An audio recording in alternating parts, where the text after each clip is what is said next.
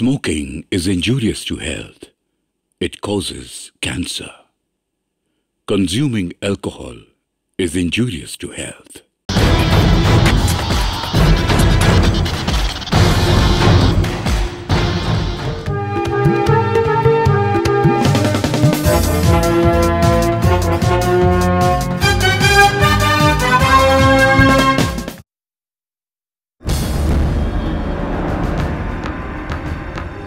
उसे नीचे उतारो।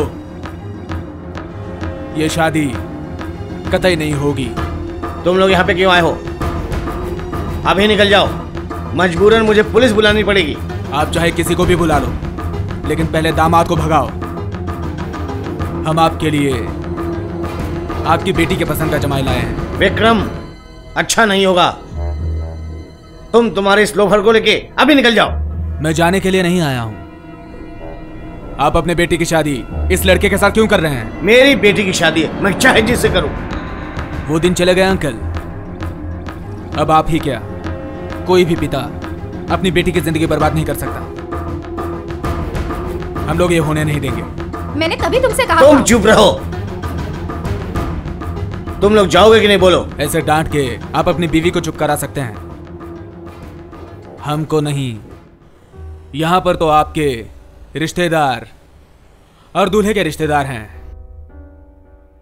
मैं सबके सामने रत्ना से एक सवाल करना चाहता हूँ कि इस शादी के लिए रत्ना की हाँ है या नहीं? अगर रत्ना कहे कि उसको यही पसंद है तो फिर आप सब लोग हमें जूते से मारिएगा। मतलब हम सबको। और हम सब सर झुकाकर यहाँ से निकल जाएँगे। क्या रे रत्ना ये शादी तेरी मर्ज़ी से हो रही है? पापा ज़बरदस्ती मेरी शादी करवा रहे हैं। आप मुझे आप मुझे बचाइए विक्रम भैया। आप मुझे बचाइए। अरे तू रो क्यों रही है? हम लोगों के होते हुए तेरे पिताजी तुम्हारी शादी नहीं करवा सकते। सुन लिया आपने? सुन ली लड़की की बात। इसके पिताजी ज़बरदस्ती इसकी शादी करवा रहे हैं। और ये मैं होने नहीं दूँगा। मैं तुमको अभी मज़ा चखाता हूँ। अरे बड़े भैया इन कपड़ों में काफ़ी देर हो गई। अब अंदर जाके ये कपड़े उतार के दूसरे कपड़े पहन के कुछ खा लो।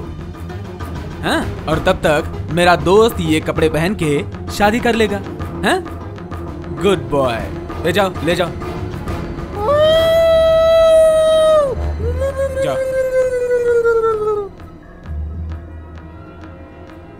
आपका ये मुझ पे एहसान? मैं ज़िंदगी भर नहीं भूल सकती विक्रम भैया। ज़िंदगी भर नहीं भूल सकती मैं। हेलो बोल रहा हूँ? हाँ अपना विक्रम? आराम को शांति से बैठने नहीं देता मुझे। प्लीज़ प्लीज़ थोड़ा जल्दी कीजिए। नहीं तो उस लोफर से मेरी बेटी की शादी करवा देगा। अरे वो जब है वहाँ तो आपकी शादी बेटी की शादी मेरी शादी नहीं मेरी शादी नहीं, सबका शादी करवा देगा। मेरे आने तक इंतज़ार करेगा क्या? ठीक है मैं आता हूँ। ये क्या तुम लोग यहाँ क्यों आए हो? अरे दरवाज़ा क्यों बंद कर रहे हो? अरे खोलो! अरे दरवाज़ा क्यों बंद कर रहे हो? ओम प्रजापतये नमः नमा। ओम विष्णु नमः नमः ओम शांति। सुनो भलाई चाहते हो तो दरवाज़ा खोलो। अरे दरवाज़ा खोलोगे कि नहीं? हम्म अच्छा तो ये शादी है। अच्छा ए, कौन है साला? इधर है दुल्हन। वो लड़का क्या लड़की को लेके भाग गया? है? भागेंगे क्यों? आराम से शादी हो गई। वो लोग अंदर ही हैं। अंदर है? चलो अच्छा है। पुलिस हमेशा आखिरी वक्त में ही आती है। ये तो रूल्स है। मैं तो डर गया था। मैं तो पहले तो नहीं आ गया। लड़की का बाप कहाँ है? खाना खा रहा है? नहीं अंदर ही कहीं होंगे। अच्छा आप जरा बताइए तो सर। रत्ना की मर्ज़ी से उसकी शादी करवा के हम लोगों ने कोई गलत काम किया? जो किया अच्छा किया। लड़की के बाप ने कंप्लेन की ना तो एक बार पुलिस स्टेशन जाके हाजिरी तो देनी पड़ेगी। थाने जाने के लिए ही तो बैठा हूँ। अगर भाग गया तो आप मेरे घर पर आके हंगामा करना शुरू कर देंगे। चलिए। ना ना नाराज़ होने की ज़रूरत नहीं। तुम बच्चे हो तुम्हें बहुत कुछ पता नहीं है। अगर किसी की शादी में आओ और बिना खा के चले जाओ तो घर का मंगल होता है। मेरा मंगल नहीं नहीं दुल्हन का मंगल सब हट। दूल्हे का दोस्त का मंगल होता है। मैं एक जिम्मेदार पुलिस ऑफिसर होके इतने लोगों का मंगल मैं नहीं कर सकता। तू रुक तो है तुम लोग रुको। ए तुम रुको। थोड़ा सा खा के तुरंत आ जाता हूँ। Rules are rules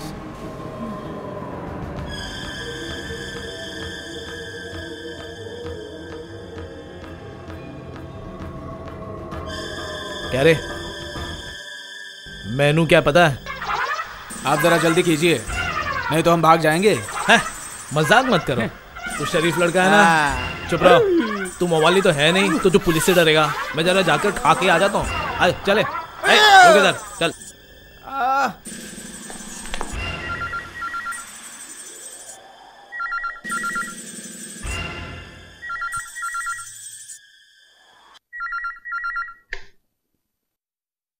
hello? हाँ। क्या है, राजू? हाँ बोलो। तुम्हारे भाई घर पे नहीं है। शादी में गए हैं। क्या बोला? विक्रम को फिर से पुलिस पकड़ कर ले गई? छी छी छी छी छी छी। किसका फ़ोन है? हाँ रखती हूँ। राजू ने फ़ोन किया था। विक्रम को फिर से पुलिस पकड़ कर ले गई। ऐसा ही अगर चलता रहा ना तो तुम्हारे लोफर भाई की वजह से पूरे मोहल्ले में बदनामी हो जाएगी। क्या हुआ? क्या हुआ देवरानी? क्या बताओ भाभी? तुम्हारे लाडले देवर को पुलिस पकड़ कर ले गई। धीरे बात करो तुम। पिताजी की तबीयत खराब है ना? अभी तो सोने गए हैं वो। नहीं धीरे नहीं। आज इसका फैसला होके रहेगा। क्या बोलती हो तुम? हाँ। मोहल्ले में हमारा एक इज़्ज़त है। इस लोफर की वजह से सारी इज़्ज़त हमारी मिट्टी में मिल जाए। क्यों रे? इतना चिलम चिली क्यों कर रहा है? सुनो ना तुम सुनो। क्या हुआ क्या? देवर जी को थाने ले गए हैं। बड़े भैया अब तक घर नहीं आए। तुम जाके एक बार देख लो ना। ना भैया थाने तुम नहीं जाओगे। बार बार इस तरह छुड़ा के लाना नहीं चाहिए। थोड़े दिन रहने तो अंदर। क्या हुआ? आप लोग इतना चिल्ला के बात क्यों कर रहे हो? होना क्या है? सर पे और चढ़ाओ से विक्रम को पुलिस पकड़ ले गई भैया भगवान के लिए धीरे बात करो। पिताजी की तबीयत बहुत खराब है। वो हमारी तुम्हारी बात नहीं सुनेगा जया। पिताजी को कुछ हो गया तो इनका क्या जाएगा? तुम्हें क्या लगता है? पिताजी के रहते तुम्हारी शादी हो जाएगी। तुम्हारे भाई तुम्हारी शादी नहीं करवाएँगे? ऐसा क्यों? इसमें शादी की बात कहाँ से आई? हकीकत में इसी वजह से तुम्हें तो समझ जाना चाहिए कि तुम्हारी शादी न होने का कारण पैसा नहीं है, बल्कि इसकी वजह तो तुम्हारा लोफर भाई है। लड़के वाले आएँगे तो उनके सामने हम क्या मुँह दिखाएँगे? लोफर भाई के बहन से कौन शादी करेगा? बेकार की बात मत करो भाभी। मेरी शादी नहीं हो रही, इसकी वजह मैं अच्छी तरह से जानती हूँ भाभी। मैं दिखने में सुंदर नहीं हूँ, काली हूँ, और तो और मेरे पिताजी के पास पैसे भी नहीं। इसीलिए नहीं हो रही शादी। इस वजह से विक्रम को क्यों कसूरवार ठहरा रहे हो? सुन रहे हो? क्या कह रही है तुम्हारी बहन? ऐसे बात कर रही है जैसे कि तुम तीनों भाइयों की वजह से उसकी शादी नहीं हो रही है। आप हर बात को अपने ऊपर क्यों लेती हो देवरानी जी? दीदी ने कहा कि क्यों? तुम लोग यहाँ खड़े क्यों हो? और क्या करे? अभी फ़ोन आया था। विक्रम को फिर पुलिस पकड़ ले गई। हमें तो पहले ही मालूम पड़ गया था। बस से उतरते ही चाय की दुकान से एक लड़के ने आकर हमें ये बात बताई। आज तुम छुड़ाने नहीं जाओगे बड़े भैया। मैं भी आते आते इनसे यही बात कर रही थी। अब अगर उस लोफर को छुड़ाने थाने गए ना तो मैं इनसे बहुत लड़ाई करूँगी। तुम तो ऐसे सब कुछ बता रही हो जैसे तुम शांत हो। जाओ तुम अभी अंदर जाओ जाओ। इसका मतलब तुम उस लोफर को छुड़ाने वापस थाने जाओगे? हाँ। जाएगा। अरे आप इस बीच में क्यों आ रहे हैं? आया इसलिए आज जिसके खिलाफ सबकी शिकायतें वो बेटा मेरा है। आप सो जाइए पिताजी। हाँ जा रहा हूँ।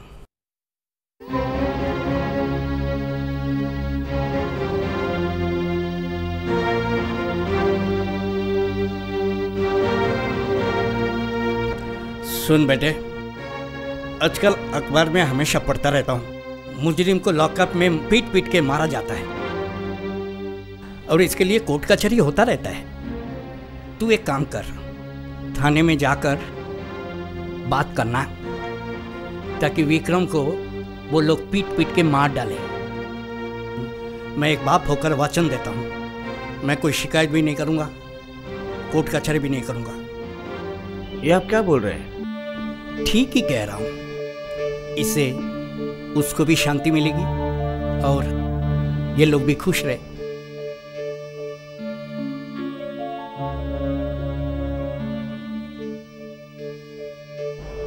जाओ अपने अपने कमरे में जाओ। जाओ।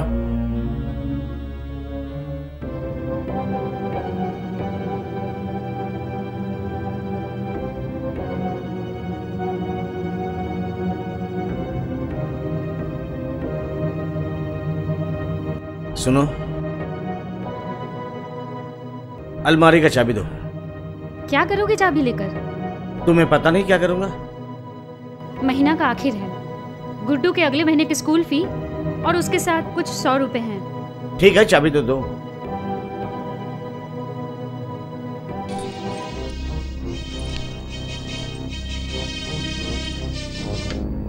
बार बार अपने पैसे देकर तुम उसे छुड़ा लाते हो।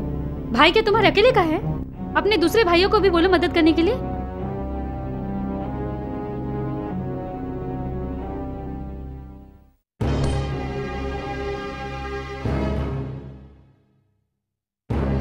पिताजी।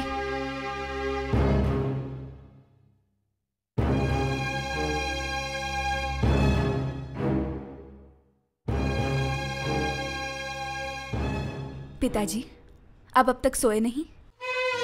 विक्रम को आज पुलिस क्यों पकड़ा? तुम जानती हो बहू? उसका एक दोस्त है भास्कर जो एक लड़की से प्यार करता है। उसका बाप उसकी शादी कहीं और करवा रहा था। इसलिए देवर जी ने शादी हाँ हाँ हाँ समझता हूँ। हाँ फिर से वही दोस्ती की खातिर। हम्म अपना घर तोड़कर दूसरों की सेवा करने की आदत उसको कब जाएगी? पिताजी आप सो जाइए। मैं आपका सर दबा देती हूँ। तुम जाओ बेटी। विक्रम आते ही मैं सो जाऊँगा। पिताजी मुझे आपसे एक शिकायत है। शिकायत? अब आप जाइए दीदी जो शिकायत करनी है कल सुबह करना। नहीं कल सुबह नहीं। बड़ी बहू का जो कहना है वो आप ही बोलेगी। तुम्हारी शिकायत ज़रूर विक्रम के खिलाफ। नहीं उसके खिलाफ और क्या शिकायत करूँगी? आप एक कान से सुनते हो दूसरे कान से निकाल देते हो। शिकायत आपके बड़े बेटे के खिलाफ है। राजीव के खिलाफ? उसके खिलाफ कोई शिकायत हो सकती है? पापा की तबीयत ठीक नहीं है। आप जाइए दीदी। मैं अपने पति के खिलाफ शिकायत कर रही हूँ। इसमें तुम्हें क्या तकलीफ़ हो रही है? उसे सब कुछ कहने दो बेटी। बोलो तुम्हारी क्या शिकायत है बड़ी बहू? अगले महीने की तीन तारीख को गुड्डू का स्कूल का फ़ीस देना है। इसलिए तीन सौ रूपए अलग करके अलमारी में रख दिया था। और आपका बड़ा बेटा मेरी हर बात अनसुनी करके वो पैसे लेकर थाने गया है विक्रम को छुड़ाने। अब आप ही बताइए पिताजी मैं अपने गुड्डू के स्कूल का फ़ीस कैसे भरूं? ठीक है तुम जाओ। मैं देखता हूँ। वो सब देखता हूँ ऐसा मत बोलिए पापा। आपके उस लोफर बेटे के लिए अगर मेरे बेटे का स्कूल जाना बंद हुआ तो मैं बहुत झगड़ा करूँगी। क्या?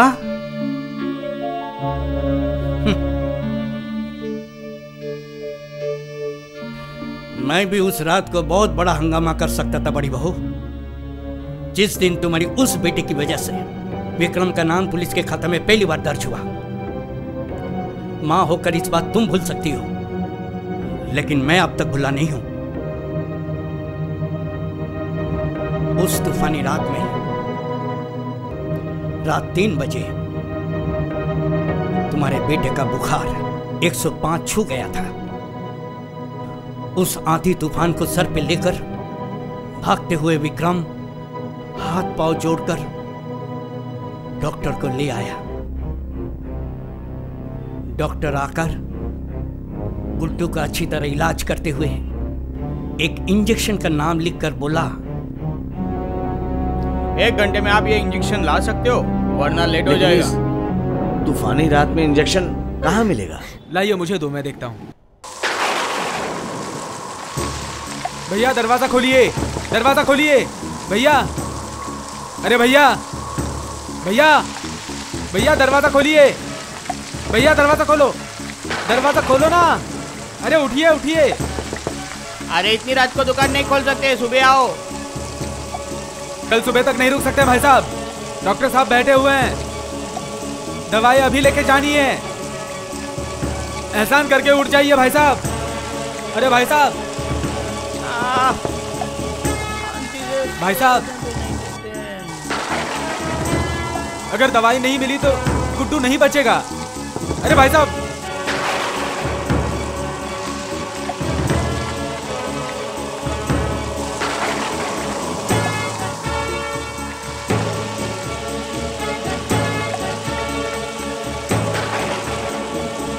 मैं कह रहा था कि इतनी तूफानी रात में कोई दुकान खुलेगा? क्या हुआ? इससे ज़्यादा लेट नहीं कर सकते। नहीं। मिला हाँ हाँ हाँ डॉक्टर साहब लीजिए उसने मुझे कुछ नहीं बताया कि दुकान का दरवाज़ा तोड़कर दुकानदार को मारकर गुड्डू के लिए इंजेक्शन लेके आया। समझ में आया दूसरा दिन सुबह जब पुलिस आई डकैती के इल्ज़ाम में हम सब की आँखों के सामने विक्रम को पकड़ के ले गया। क्यों दीदी? इस घर में आए हुए मुझे दो साल हो गए। आप हमेशा देवर जी की बुराई करते हो। ये बात तो मुझे कभी नहीं बताई आपने। आज बेटे का स्कूल बंद हो जाएगा इसलिए शिकायत ले आई। उस दिन विक्रम ना होता तो उस दिन तुम्हारे बेटे का श्वास बंद हो जाता था। बंद हो जाता था हमेशा के लिए तुम्हारी ममता। लेकिन छोटे देवर को उसके बड़े भैया नहीं तो इतने पैसे खर्च करके छुड़ा के लाए थे। हाँ हाँ लाया था। लेकिन उसका नाम पुलिस के डायरी में जो लोफर नाम रिकॉर्ड हो चुका था। क्या वो मिटा सकते हो? बोलो कर सकते हो? इसका मतलब उसका जो मर्ज़ी वो वही करेगा हमें उसका भुगतान करना पड़ेगा। ना नहीं करना होगा। कल तुम्हारा तीन सौ रुपया सुबह ही तुम्हारे पास भेज दूँगा। लेकिन आपके पॉकेट में पैसे कहाँ है देने के लिए? पॉकेट में पैसा नहीं है लेकिन हाथ में घड़ी तो है। इसे बेचकर तीन सौ रुपया ज़रूर मिल जाएगा। अपनी इतनी पुरानी सी घड़ी आप बेच देंगे पिताजी? इतना पुराना इस आदमी का ही कोई कीमत नहीं है इस परिवार में। नहीं पिताजी उसे मत बेचिए। इसके अलावा और कोई रास्ता नहीं है बेटी। मेरे पेंशन से जो दो हज़ार रुपया महीना में मिलता है वो पूरी रकम मैं बड़ी बहू को दे देता हूँ। मेरे पास पाँच रुपया भी नहीं होता है सिगरेट पीने के लिए। आप हर महीने दो हज़ार रुपया देते हैं? हाँ देता हूँ। यही तो बड़ी बहू सामने खड़ी है। पूछो। मैं जब हर महीना बैंक से पैसा लेके आता हूँ आते ही देखता हूँ बड़ी बहू मेरे कमरे में बैठी है। मुझसे पैसा लेके ही चली जाती है। क्यों दीदी?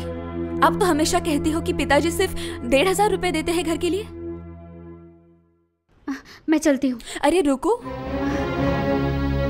जाओ कमरे में बैठ के सारी रात हिसाब कर लो। इन पाँच सौ रुपयों का तुमने इतने साल क्या क्या किया? कल सबके सामने तुम्हें इसका हिसाब भी तो देना है। पैसे पैसे का हिसाब। ठीक है दे दूँगी। अच्छा फंसाया तुमने ये बड़ी बहू को। तीन सौ रुपया मांगने आई आज उनको तीस हज़ार रुपया का हिसाब देना होगा। ये बात वो समझी नहीं। आप अभी सो जाइए पिताजी। देवर जी आ जाएँगे तो आपको बता दूँगी। ठीक है बेटा।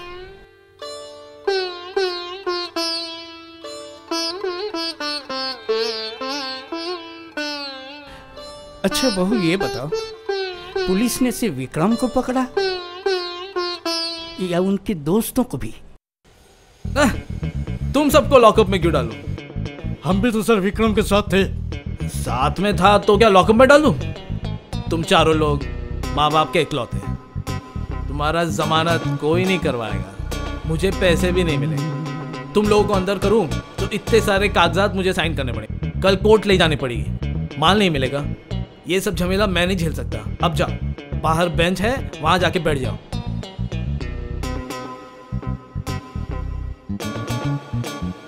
ए राजू। तुम सच में विक्रम के घर पर फ़ोन किया ना? हाँ सर फ़ोन किया था। उस समय विक्रम का भैया घर पे नहीं था। कैसे मुश्किल में पड़ गए? उसका भाई घर आएगा सब कुछ सुनेगा फिर पैसे ले आएगा। बहुत देर रात हो जाएगी। बाकी दो भाई एकदम बेकार हैं। कोई ज़िम्मेदारी नहीं है मेरे ऊपर। मेरे ऊपर नहीं उनके भाई के ऊपर। मेरा नहीं मेरा। आप घर चले जाइए। कल सुबह विक्रम को कोर्ट भेज देना। कोर्ट भेज दो उसे? इतने देर क्यों बैठा रहा महीने का अंत है शायद पैसा नहीं हुआ आना होता तो अब तक आ जाता था। हट! तुझे नहीं तुझे नहीं। लड़की का बाप भी बेकार है। शादी करवानी थी तो पहले ही करवा देता। आखिरी में करवाया। क्यों रे? कुछ भी नहीं मिलेगा क्या? मैंने कहा आखिरी है कुछ डिस्काउंट दे दूँगा। अच्छा सर साल में कम से कम पंद्रह सोलह बार विक्रम को पकड़ते हो। एक साथ एक दर्जन मतलब बारह केला अगर खरीदा जाए कम से कम एक केला तो फ्री मिलता है। उसे तो आपने इतनी बार पकड़ा है। एक बार फ्री में छोड़ नहीं सकते। एकदम फ्री में? नहीं तो उधारी में छोड़ो ना। हट बेवकूफ़। उधारी में जमानत। पुलिस का नाम बदनाम करोगे। ए, निकलो। निकलो यहाँ से। अभी अंदर डाल दूँगा। लड़की वाला केस है। जमानत नहीं मिलेगी।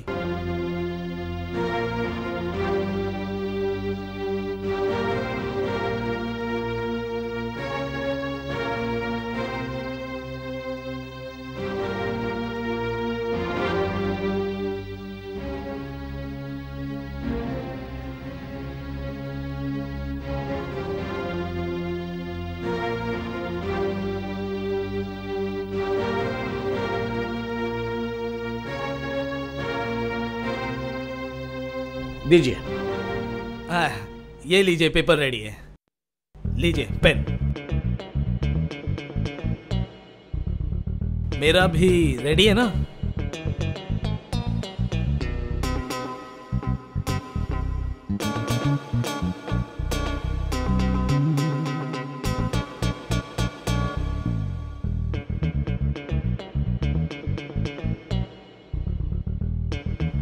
कांस्टेबल लॉकअप खोल दो ड्राइवर को बोल दो जीप निकाले। इनको छोड़ के मैं घर चलूँगा। आप हमें जीप से पहुंचाएँगे। वो तो करना ही पड़ेगा। आप हमारे परमानेंट क्लाइंट हो। महीने में एक बार कम से कम थाने आते हैं आप। आपको घर तक जीप से छोड़ना मेरा फ़र्ज़ है। धन्यवाद। हम रिक्शे से चले जाएँगे।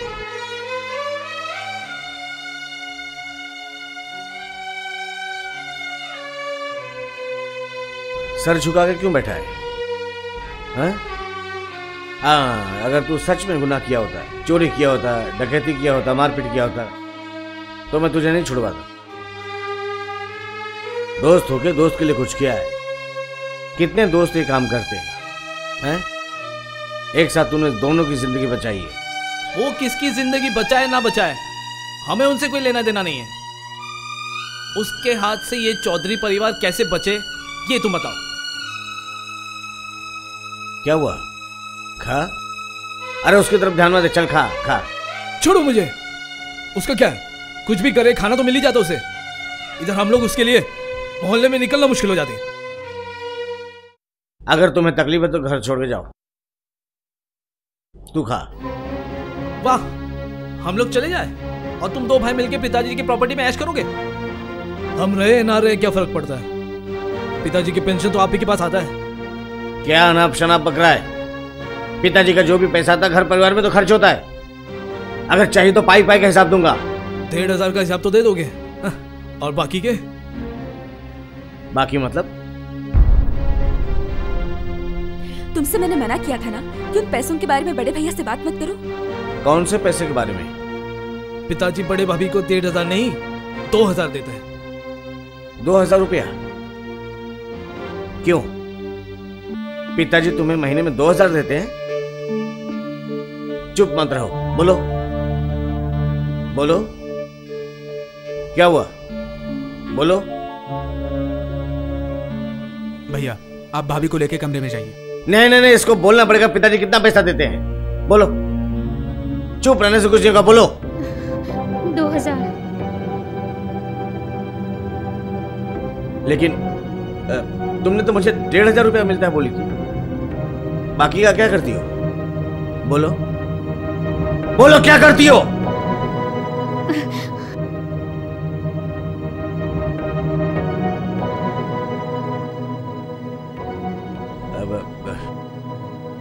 पिताजी का दो साल से पेंशन आता है। जो भी पैसा ज़्यादा होगा वो मैं लौटा दूँगा तुम लोगों को। इनको क्यों देंगे? अगर देना ही है तो बहन के नाम पर बैंक में रख दीजिए। बहन की शादी में काम आएगा। मुझे देना है मतलब देना है तुम लोग आपस में जो करना कर लेना।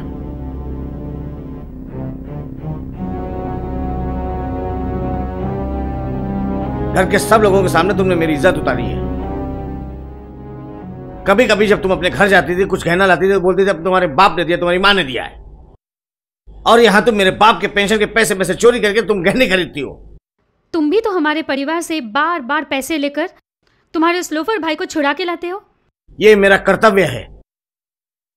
कर्तव्य सिर्फ़ तुम्हारी है और किसी की नहीं।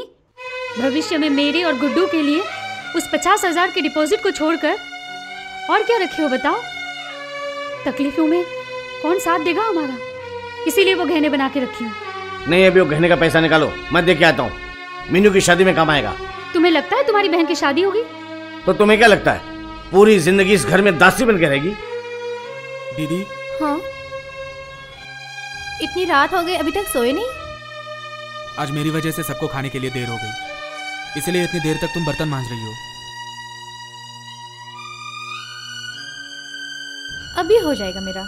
मैं कोई मदद करूँ? तुम्हें मदद करने की कोई ज़रूरत नहीं। मैं हूँ ना दीदी को मदद करने के लिए। आप क्यों आए भाभी? भैया को पता चला तो डांटेंगे। वो सो गए हैं। देवर जी तुम पिताजी से मिले? नहीं कल सुबह मिल लूँगा। कल सुबह नहीं अभी जाओ। तुम नहीं जाओगे ना तो पिताजी सोएँगे नहीं।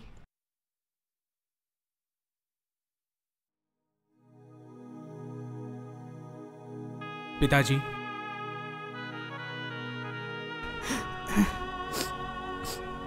आजा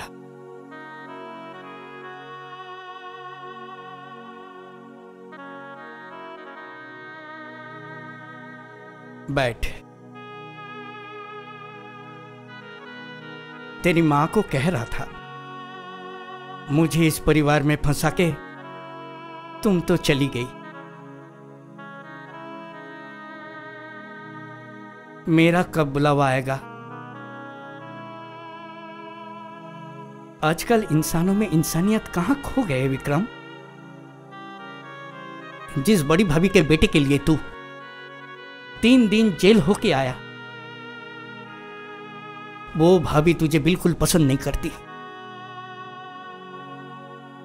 इसीलिए कह रहा था, तेरा भैया भाभी जब तुझे बिल्कुल पसंद ही नहीं करता तब तो दूसरों के बीच बिल्कुल पड़ना ही मत जिसके लिए तू इतना कुछ कर रहा है, जेल में जाता है।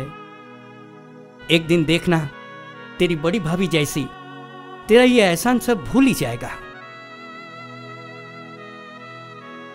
जा, बहुत रात हो गई है, सो जा जाकर। और एक बात कल सुबह एक बार आना मेरे पास। ये घड़ी बेचना है। नहीं, घड़ी बेचने की ज़रूरत नहीं।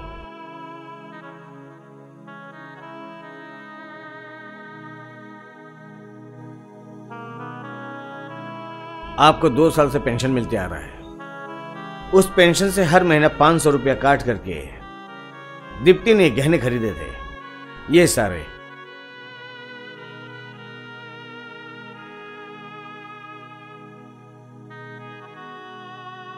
गहने का रसीद और पाँच सौ रुपया रखा है।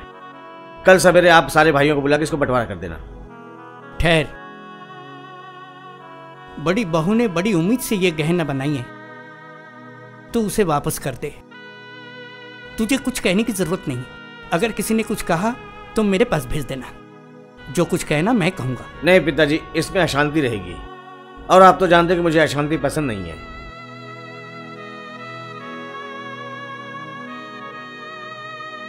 लोग कहते हैं कि शादी के बाद औरत आदमी को बिगाड़ देती है। लेकिन तेरे बड़े भाई को किसी ने खराब कर पाया? नहीं कर पाया। असली बात पता है, लड़के अगर निकम्मा जैसा हो तो बीवी उस पर हावी हो जाती है।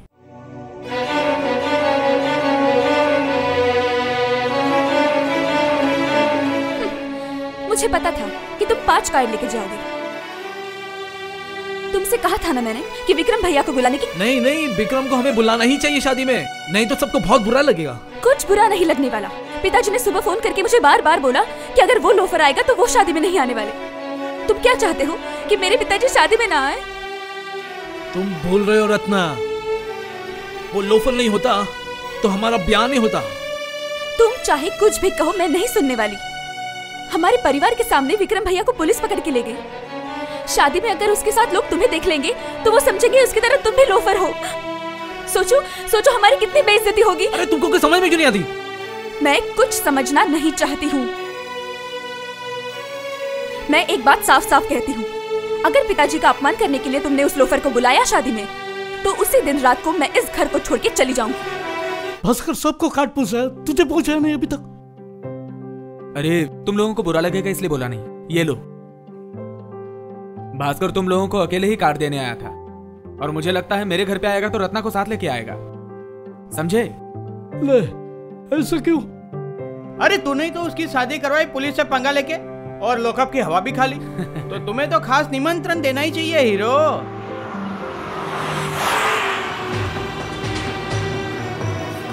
ए, ये गाड़ी किसकी है जानते हो? चट। अरे उस मोहल्ले में जो नया घर बना है ना उसी की गाड़ी है। वो लड़की चलाती है। किसी का परवाह नहीं करती।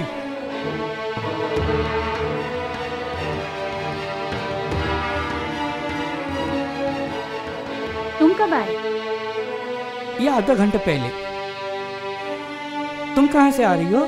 तुम ऑफ़िस का काम छोड़कर सुबह सुबह यहाँ आके बैठे हो। क्या बात है? ये सुन के तू क्या करेगा? ऊपर जाकर मैडम को लेकर आना। क्या बोलो?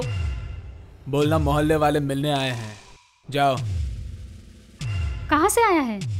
वो तो पता नहीं लेकिन चौकीदार ने कहा कि उसके शर्ट पे बहुत सारा कीचड़ लगा हुआ है। तो आपसे मिलना चाहता है। तुम ठहरो मैं देखता हूँ। जाओ अंदर हाँ ठीक है।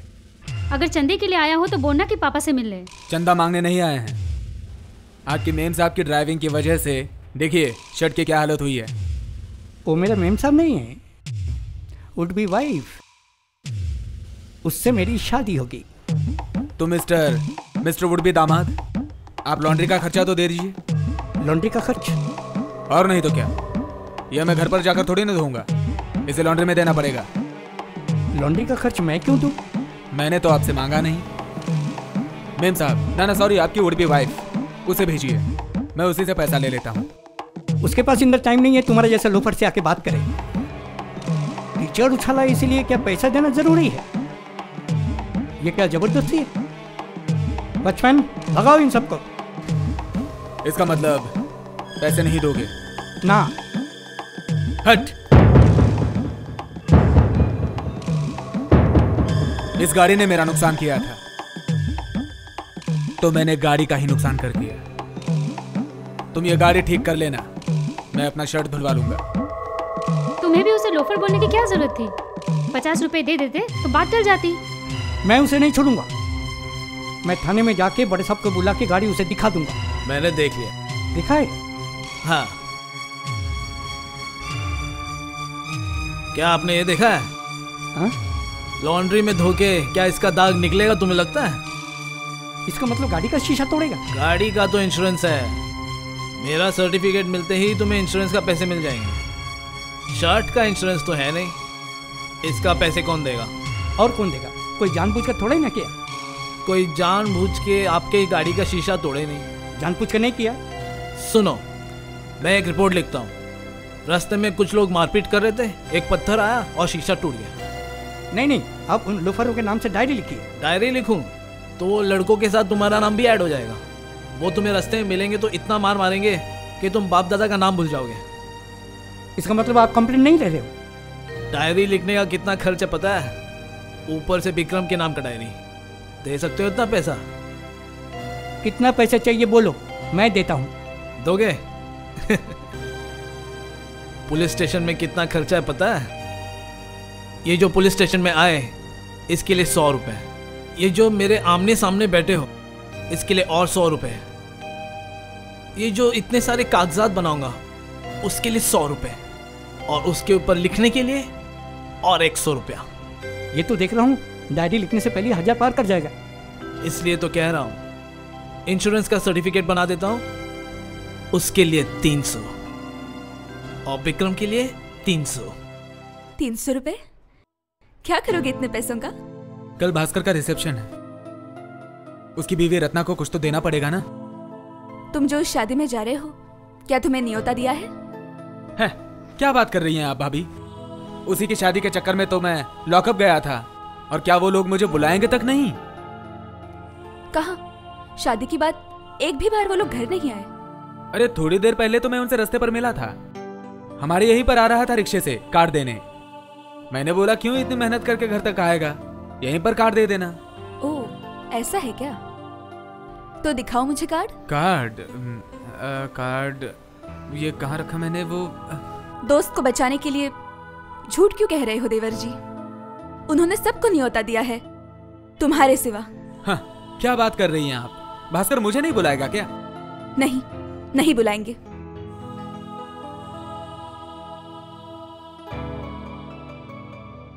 भास्कर की बीवी को तुम क्या तोहफा देने वाले हो? सोचा था एक सोनी की अंगूठी दो। तीन सौ रुपए में तो छोटे बच्चे की भी अंगूठी नहीं आएगी देवर जी। तो फिर?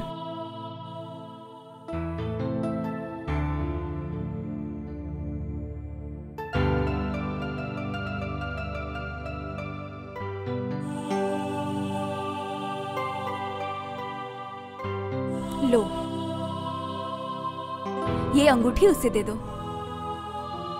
ये पिछले हफ़्ते मेरी सालगिरह थी। तुम्हारे भैया ने मुझे ये दी थी। एकदम नई अंगूठी है। मैंने एक बार भी नहीं पहनी। देखो अंगूठी बहुत खूबसूरत है है ना?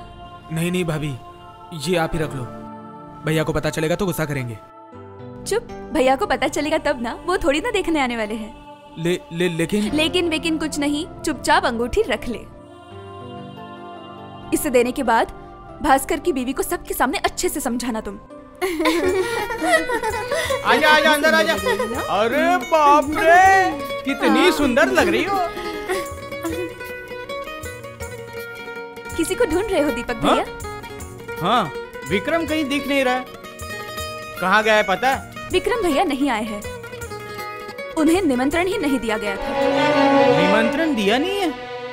मैंने भास्कर को उससे मिलने के लिए मना किया है। और अगर तुम लोग भी उनसे नहीं मिलो तो बेहतर होगा। अगर तू दुल्हन बनी बैठी नहीं होती ना तो एक झापड़ में गिरा देता था तुझे।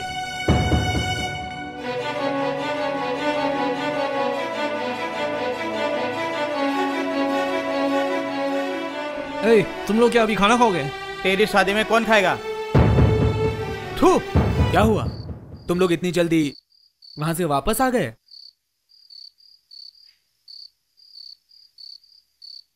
तुझे भास्कर ने निमंत्रण दिया नहीं था? तो तूने हमें बोला क्यों नहीं? अरे बोलता तो तुम लोगों को बुरा लगता। अरे वो भास्कर एक बार रास्ते में मिल जाना। ऐसा धोऊँगा मैं उसको। अरे नहीं। तुम लोग कुछ भी मत बोलना। बेचारे पर ससुराल का प्रेशर है।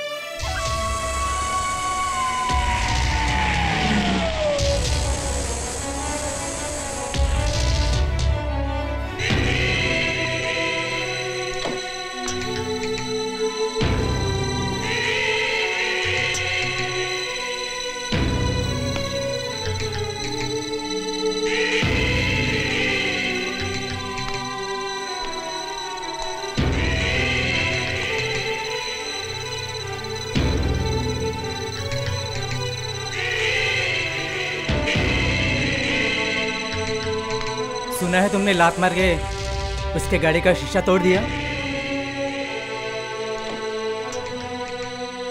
तुम जानते हो एक लात मार के तुम्हारा ये थोपड़ा बिगाड़ दूँ? ठीक है। एक बार कोशिश करके देख लो। सब लोग देख लेंगे। मेरा थोबड़ा टूटता है या तुम्हारी टांग टूटती है।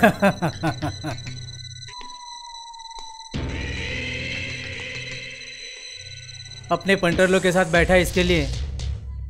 ताव दिखा रहा है क्या? ए राजू दीपक मेरी कसम है। तुम लोग बिल्कुल बीच में मत पड़ना। लो तुम्हारी सहूलियत के लिए मैंने अपना थोबड़ा आगे किया। लात मारो। मार। मारना। ये नहीं होगा।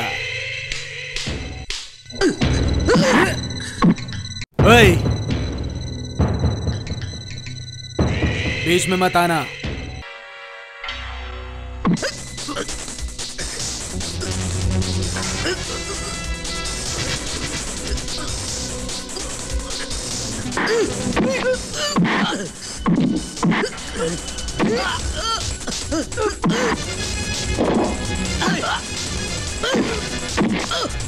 Ah!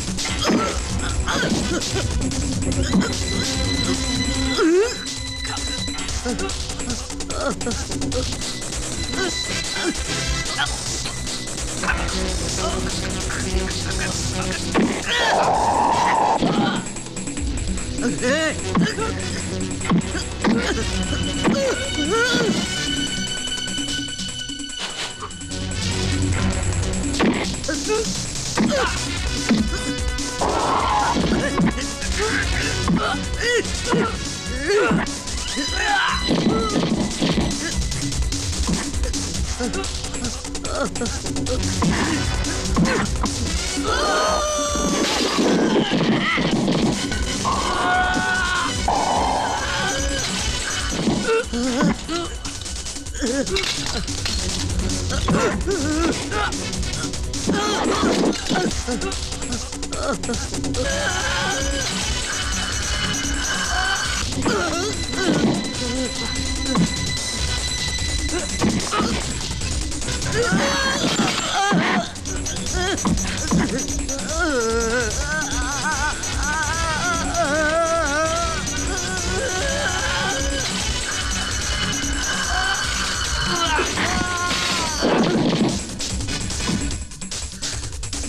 Huh.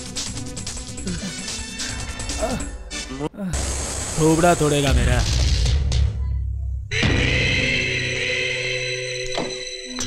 दीपक, राजू, इसको उठाना तो गाड़ी तक लेके जाओ।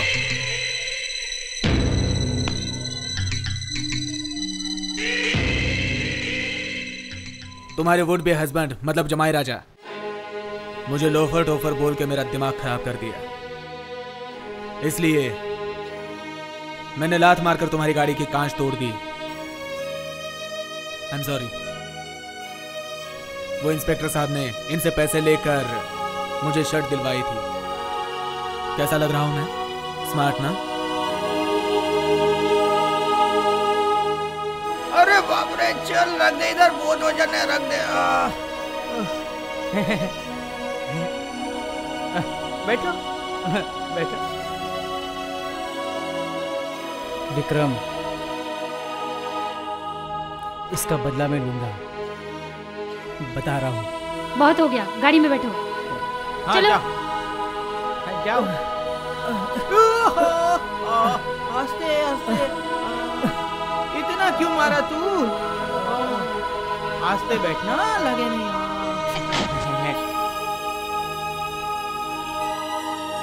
क्या क्या करते रहता है? है मेरे भाई।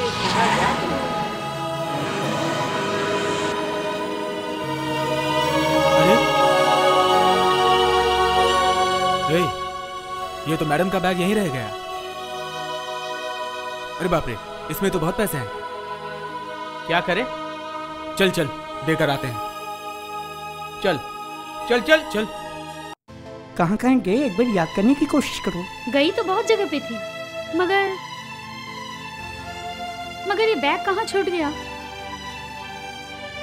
कह रही थी ना पाँच हज़ार रुपया था उसमें। किसी को मिला तो वो वापस थोड़ा ही करेगा। मैम साहब मैम साहब उस दिन जिस आदमी ने आपकी गाड़ी का कांच तोड़ा था ना वही आदमी आपसे मिलने के लिए आया है। हाँ? हैं। वो लोफर के यहाँ क्या काम है? बोल दो चले जाइए यहाँ से। पता तो चले क्यों आया है? जाओ उसे बुला के लाओ। ठीक है। ये तुम्हारी बहुत बुरी आदत है। नंदन भाई को घर पे बुलाओगे नहीं बीच में गाड़ी से उतर दिया। लेकिन एक लोफर को घर पे घुसा रहे हो। तुम्हारे नंदन भाई से बहुत अच्छे हैं। जिसने तेरा गाड़ी का कांच तोड़ा। कांच तोड़ने के लिए भी जिगर की ज़रूरत पड़ती है पापा। और उसने नंदन भाई की जो पिटाई की है मैं तो देखती ही रह गई।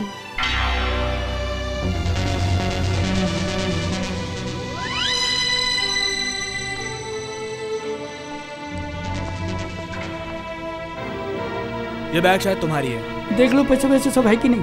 अच्छा मैं देखता हूँ। बुद्धू कहीं का अगर उसे पैसे लेने ही होते तो पूरा ही ले लेता। बैग लौटाने नहीं आता। चलो। चलता हूँ दामाद जी। जल्द ही मुलाकात होगी। हाँ? टाटा। चलता हूँ। अशोक मैंने कितनी बार तुम्हें मना किया है कि हर जगह ढंडोरा मत पीटो कि तुम्हारी मुझसे शादी हो रही है।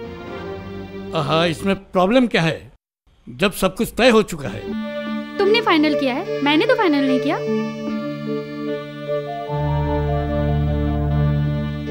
अभी और मुझसे मिलने मत आना। खाने पे बात होगी। मैं तुमसे रोज कहती हूँ कि भैया के साथ खाना खा लो लेकिन तुम हमेशा हमारे ही साथ खाना खाते हो। ऐसा क्यों बताओ तो? भैया भाभी के साथ खाना खाने में मुझे शर्म आती है। घर में एक भी पैसा नहीं दे पाता। तुम नहीं दे पाते हो तो क्या हुआ? पिताजी तो देते हैं ना पैसे। वो पहले भैया भाभी के साथ ही खाना खाते थे। एक दिन संडे के दिन मैंने अच्छा खाना बनाया था। और वह हँसते हँसते बोल दी मटन बहुत ही अच्छा बनाया दीदी। दे थोड़ा चावल और रस्सा दे दे। खाते वक्त ऐसे चावल चावल करके मत चिल्लाओ देवर जी। चावल की कीमत पता है तुम्हें? परिवार में एक फूटी कौड़ी भी नहीं देते तुम। और खाते वक्त एक हंडी चावल निकल जाते हो।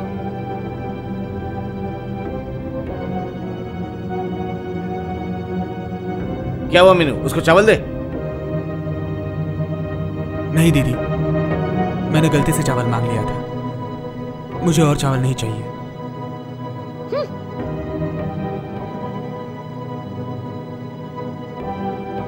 अच्छा बड़ी बहू। वो परिवार में कुछ दे नहीं पाता है लेकिन मैं तो देता हूँ। और तो और मैं क्या खाता हूँ? वो थोड़ा सा चावल मांगा और तुम? मुझसे गलती हो गई पिताजी। अब से आप और आपके बेटे पहले खा लेंगे। कुछ बचता हो हम बहुए खा लेंगे। ना ना। तुम्हारा परिवार तुम क्यों बाद में खाओगे? वो लोफर ही बाद में खाएगा। उसके बाद पिताजी भी किसी के साथ बैठ के खाना नहीं खा रहे। अकेले अकेले बैठ के खाना खाते हैं। और हम दोनों भाई बहन सबसे आखिरी में खाते हैं। आप बहू बन के आने के बाद से हमारे लिए कुछ अच्छा सा खाना रख देते हो। तुम आने से पहले हम तो सिर्फ़ दाल चावल और कभी कभी तो तू चुप करना दीदी। चुप भी तो बैठी हूँ।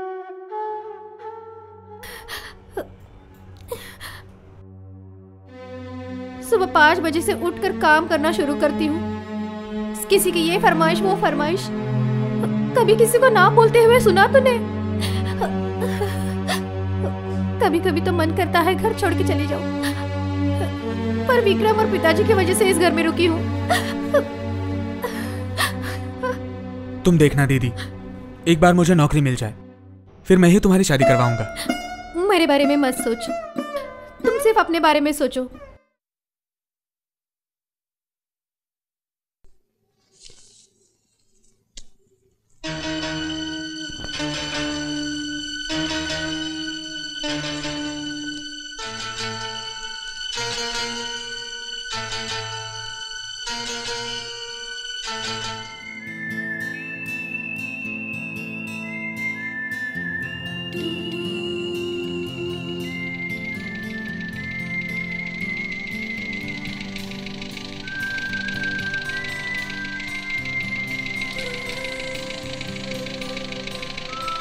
अरे।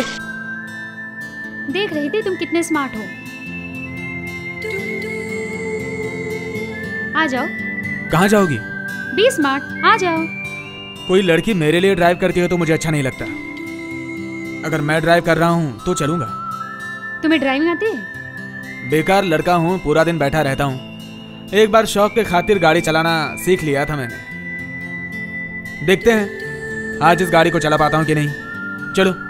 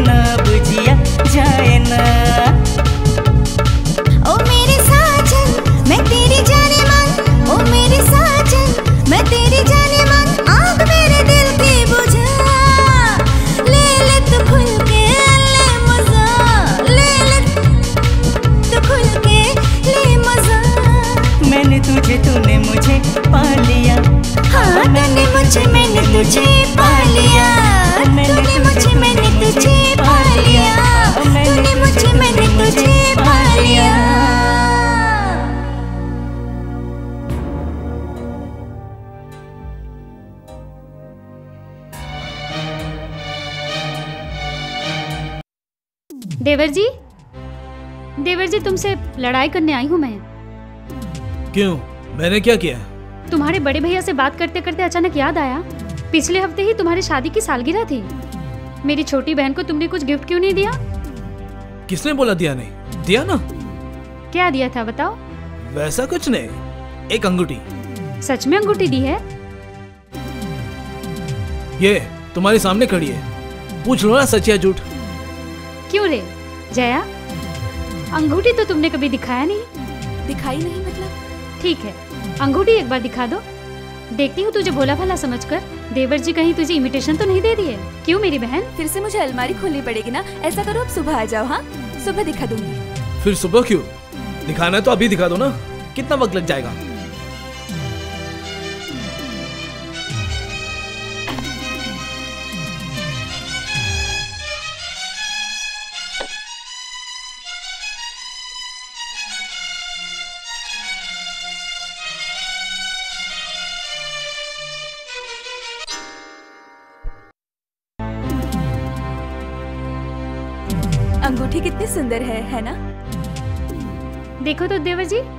तुमने यही अंगूठी दी थी ना? कहा? दिखाओ।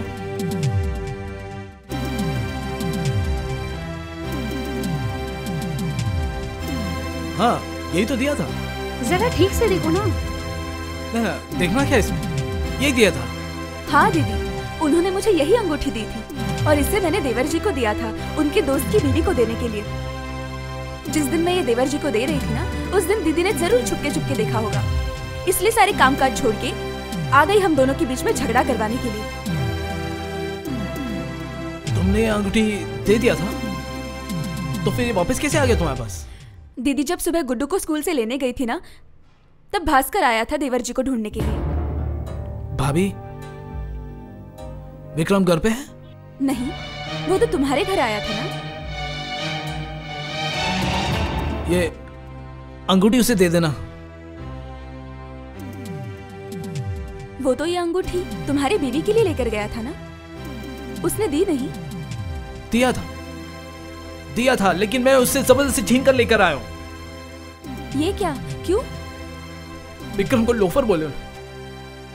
उसे तो शादी में बुलाया तक नहीं। और वो जब अंगूठी देने आया था तब उ- उसे बैठने तक नहीं कहा गया। लेकिन अंगूठी लेते वक्त दोनों हाथ फैला कर लिए। ये अंगूठी उसे पहनने का हक नहीं है। विश्वास कीजिए दीदी। अगर देवर जी को अंगूठी देने के वक्त मैं ये जानती कि आप हमारे बिल्कुल पीछे ही खड़ी हो और हमारी बातें सुन रही हो तो जब देवर जी ने मुझे अंगूठी वापस की वो बात भी आपको बता देती। तो फिर आज आपको इस तरह से अपमानित तो नहीं होना पड़ता ना? अंगूठी तो वापस आ गई मगर तुमने सबसे छुपाकर उसे और क्या क्या दिया है? ये क्या देवर जी जानते हैं? इतनी छोटी छोटी बातों में दखल अंदाजी करने का वक्त तुम्हारे देवर जी के पास तो नहीं है। हर बात छोटी मोटी नहीं होती जया। तुम क्या इस बात से इनकार करती हो कि विक्रम के लिए तुम्हारा दिल नहीं पिघलता? पिघलता है। हमेशा पिघलता है। हम तीन बहनें ही थी। हमें कोई भाई नहीं था। यहाँ की देवर जी के नाम पे मुझे एक भाई मिल गया। उनके लिए तो दिल पिघलेगा ना मेरा? भाई तुम्हें क्या लगता है? मैंने कुछ देखा नहीं? रोज रात को जब सब सो जाते हैं तो तुम अक्सर विक्रम के कमरे में नहीं जाती? हाँ जाती हूँ। रोज रात को उठ के मैं बाथरूम जाती हूँ। ये मेरी आदत है।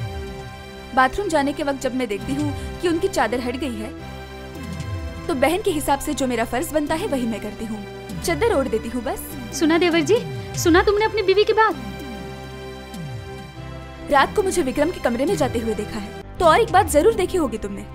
रोज रात को मैं पिताजी सोए हैं या नहीं ये भी देखती हूँ। अब तो तुम ये भी कहोगे कि विक्रम की तरह पिताजी के साथ भी मेरे गलत संबंध है।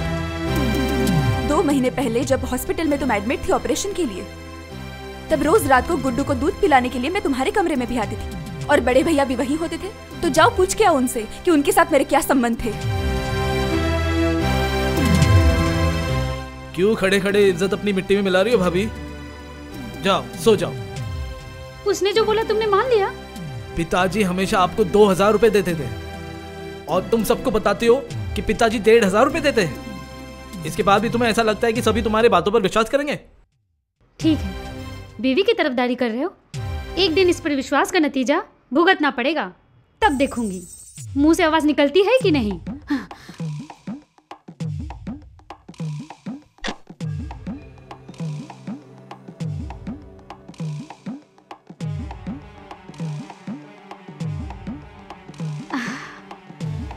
कैसे झाड़ी? हम्म? कैसे झाड़ी मतलब? तुम इस तरह से दूसरों के कमरे में जाना बंद करो। तुम कहना क्या चाहते हो? जैसे तुम्हें कुछ पता ही नहीं है। कुछ समझ में नहीं आ रहा ना? दीपू के कमरे में क्यों गई थी?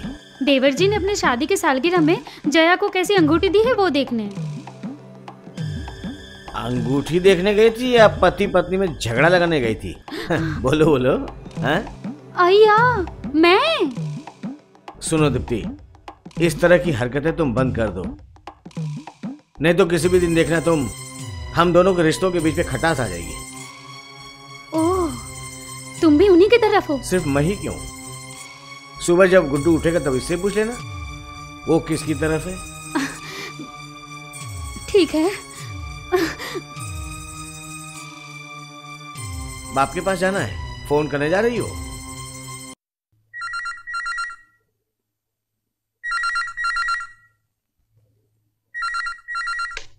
हेलो हाँ माँ। बोलो ना। क्या? पापा को हार्ट अटैक हुआ है? सुनो तुम चिंता मत करो। मैं अभी टैक्सी पकड़ के वहाँ चली आती हूँ हाँ? क्या हुआ? ये टैक्सी आपका है? हाँ। टैक्सी मेरी है लेकिन नहीं जाएगी। हाँ जोड़ता हूँ प्लीज़ चलो। किसी को हॉस्पिटल ले जाना है।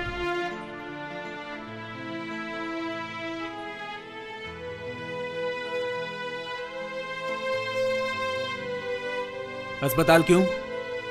किसको क्या हुआ? रत्ना के पिताजी को हार्ट अटैक आया है। अभी अगर हॉस्पिटल नहीं ले जा पाए तो बहुत मुश्किल हो जाएगी। क्या हुआ भाई? सुना ना अपने के अस्पताल जाना है। और आप तो चाय पी चुके हैं। जाइए ना। बोला ना नहीं जाएँगे। क्यों? क्यों नहीं जाओगे? मेरी मर्ज़ी नहीं जाऊँगा। सुना ना अस्पताल जाना है नहीं मैं कहीं नहीं जाऊँगा।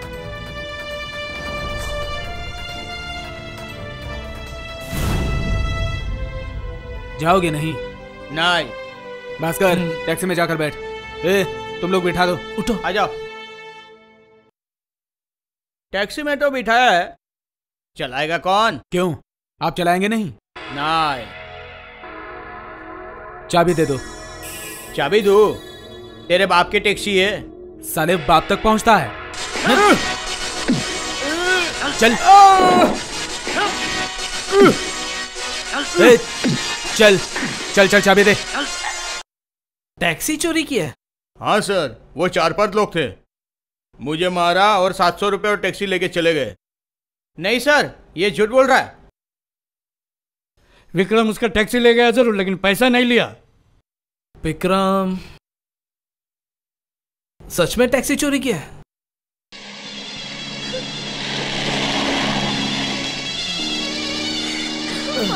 पापा पापा अब ठीक तो है ना? इनका हाल मैं तुम्हें घर जाके बता के आऊँगा। कहाँ आएगा? क्यों? तेरे घर? टैक्सी छीन के भाग रहा हूँ। अब घर पे मिलूँगा क्या? पुलिस स्टेशन आ जाना।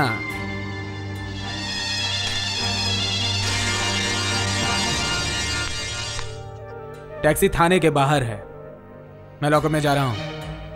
रुक जा। लॉकअप में तू क्यों जाएगा? बैठा है टैक्सी ड्राइवर। बीमार आदमी को लिया नहीं उसे, गुना किया इसलिए लॉकअप में डाल दिया। आ, इधर आके बैठ।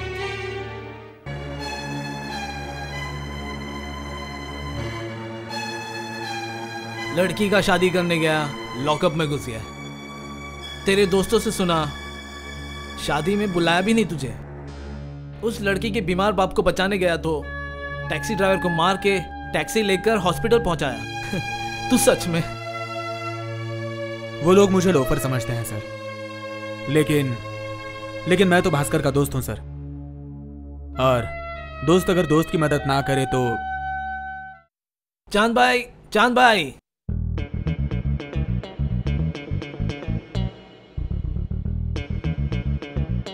ले खा। तू टैक्सी लेके भागा था इसलिए टैक्सी ड्राइवर थाने में आया। खाना में आना समझता है? मुर्गी काटो और खाओ उसको अंदर डाल दिया। तेरे नाम का झूठ बोला था उसने पाँच सौ रुपये जुर्माना लिया सब तेरे लिए। ले ले खा। नहीं मैं नहीं खाऊँगा।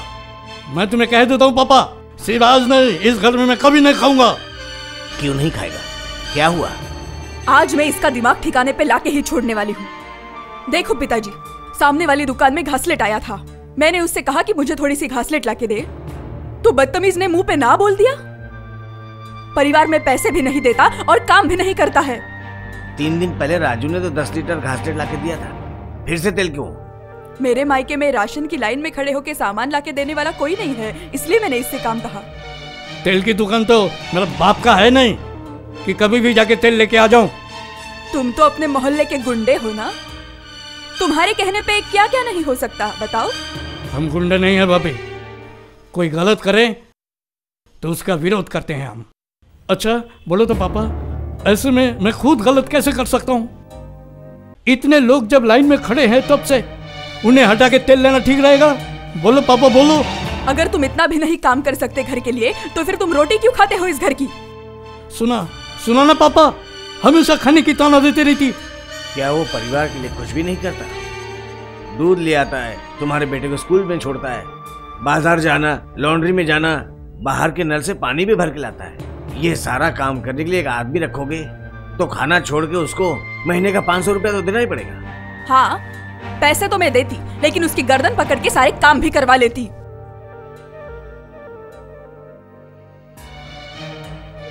आह, गर्दन पकड़ेगी एक बार हाथ लगा के दिखाए ना। सुनना मैंने सुना है कि तेरा दोस्त विक्रम किसी करोड़पति लड़की से शादी कर रहा है। विक्रम को बोलना कि उस लड़की से बात करके तुझे कहीं नौकरी दिलवा दे। नौकरी दिला दूँ? हाँ। विक्रम का एक दोस्त शादी करके अलग हो गए बाकी चार है। और उस चारों को नौकरी देते। कोलकाता के बाहर भेज दीजिए कहीं और। विक्रम फिर अकेला पड़ जाएगा। उसके बाद नंदन भैया को कहकर उसको इतना पीटेंगे हम लोग उसके बाद उस यहाँ के आसपास कभी नहीं भटकेगा। हम्म बात पते की है। वो चारों लड़के को टेम्पोररी सेल्समैन का काम देकर कोलकाता के बाहर भेज देता हूँ। उसके बाद तुम्हारे साथ टीना की शादी हो गई। बाद में नौकरी से निकाल देंगे। परसों टीना का बर्थडे विक्रम और उसके दोस्त ज़रूर उस दिन आएँगे। अब उस दिन नौकरी की बात बता देना। लेकिन विक्रम तुम्हारा रहेगा। उसको नौकरी दिए बिना उसके दोस्तों को नौकरी दे रहे उसको डाउट नहीं होगी। उसका फ़िक्र मत कीजिए। मैं चालाकी से विक्रम को एक गाना गाने के लिए रिक्वेस्ट करूँगा। और विक्रम जो भी गाना गाएगा, आप सबको बाहर ले जाके। हाँ it's a good idea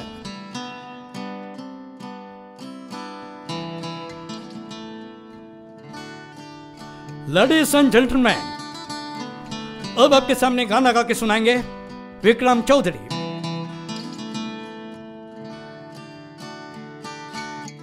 लात मारकर गाड़ी का कांच तो तोड़ दिया। अब अशोक का मुँह तोड़ दो। वो तो हो जाएगा।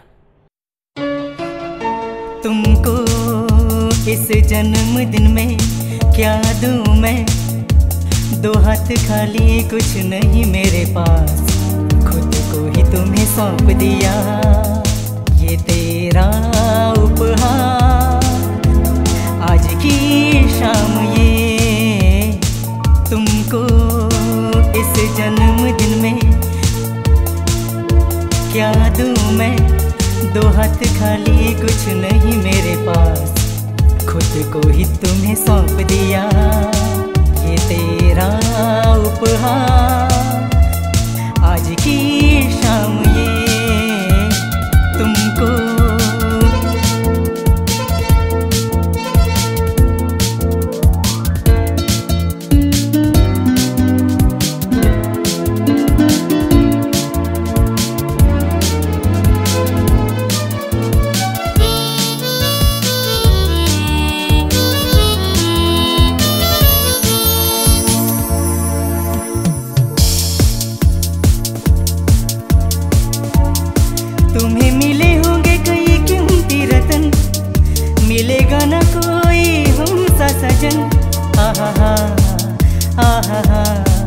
ला ला ला ला ला ला तुम्हें मिले होंगे कई कीमती रतन मिलेगा न कोई हम सा सजन। हीरा पन्ना सोना चांदी, क्या दूँ तुम्हें? प्यार दूँ तुम्हें, बस प्यार दूँ तुम्हें। जीवन भर बस प्यार दूँ तुम्हें। आज इस शाम में तुमको इस जन्मदिन में क्या दू मैं? दो हाथ खाली, कुछ नहीं मेरे पास। खुद को ही तुम्हें सौंप दिया। ये तेरा उपहार।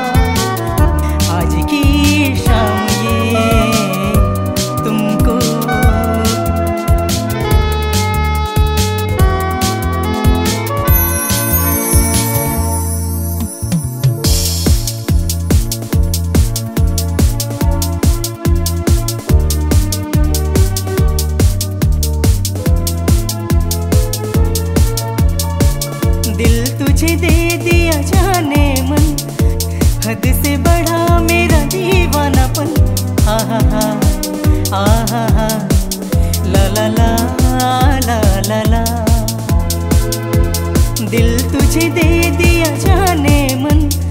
हद से बढ़ा मेरा दीवानापन। जीवन ये तेरे नाम करूँ। तेरा ही है बस दिल ए लहू। दिल ए लहू, ये दिल ए लहू।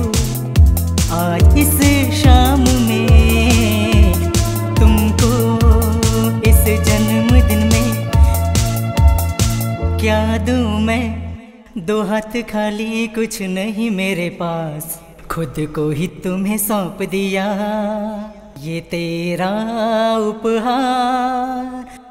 आज की शाम ये, तुमको इस जन्मदिन में।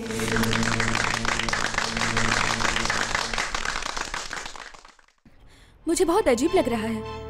तुम्हारे चारों दोस्तों को नौकरी मिल गई, लेकिन तुम्हें नौकरी नहीं मिली। मेरे साथ ऐसे बर्ताव किया जैसे मैं उनका दामाद हो गया हूँ। मुझे लगता है टीना की तो माँ नहीं है ना?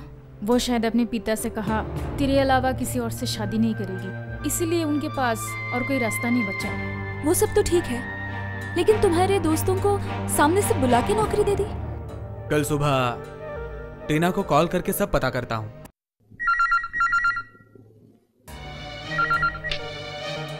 हेलो? मैं अशोक बोल रहा हूँ। हाँ बोलो। मैं नंदन भाई को सब समझा दिया। नंदन जी मेरे दिमाग की बहुत तारीफ़ की। कल सुबह की ट्रेन में विक्रम के सारे दोस्त बाहर चले जाएँगे और उसके बाद विक्रम अकेले रह जाएगा। विक्रम चाय के टपरी में टीना का इंतज़ार करेगा और नंदन जी चार आदमी को लेके और चाय के टपड़ी में पहुंचेगा और फिर विक्रम का जो हाल करेगा और आप सिर्फ़ इतना ध्यान रखिएगा टीना घर के बाहर ना जाए। और किसी को फ़ोन ना करे।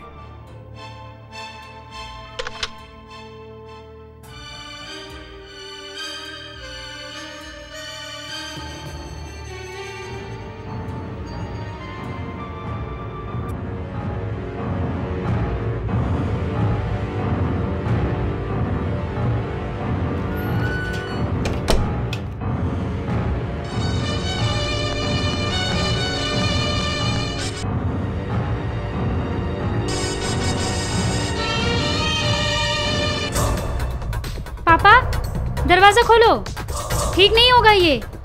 दरवाज़ा खोलो। पापा? पापा, दरवाज़ा खोलो। पापा? मैंने फ़ोन पर आप लोगों की सारी बातें सुन ली हैं। मैं पुलिस को बुलाने वाली हूँ, पापा।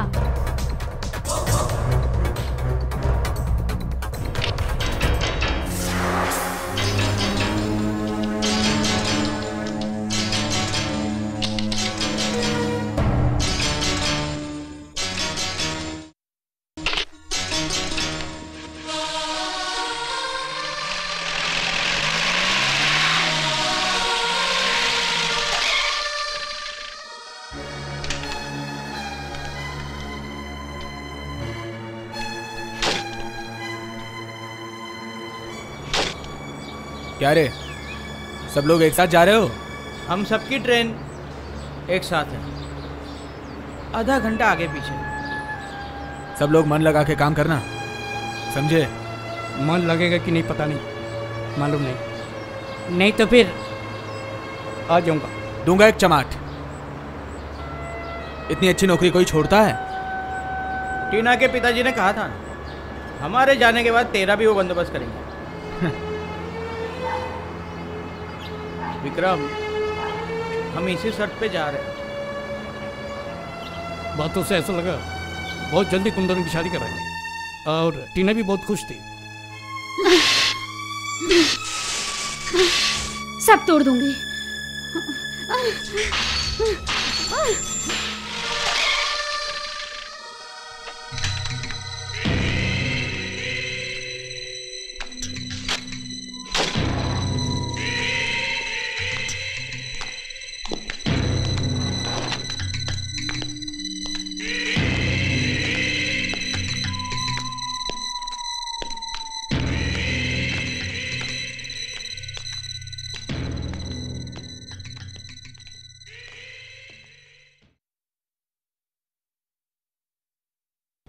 ये लो विक्रम चाय।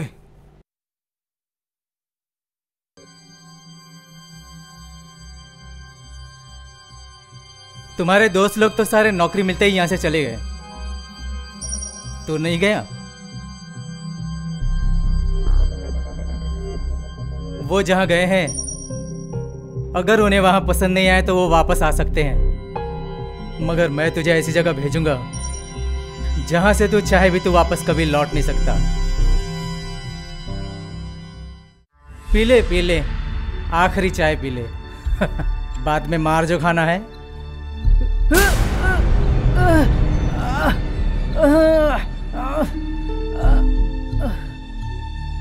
मार साले को।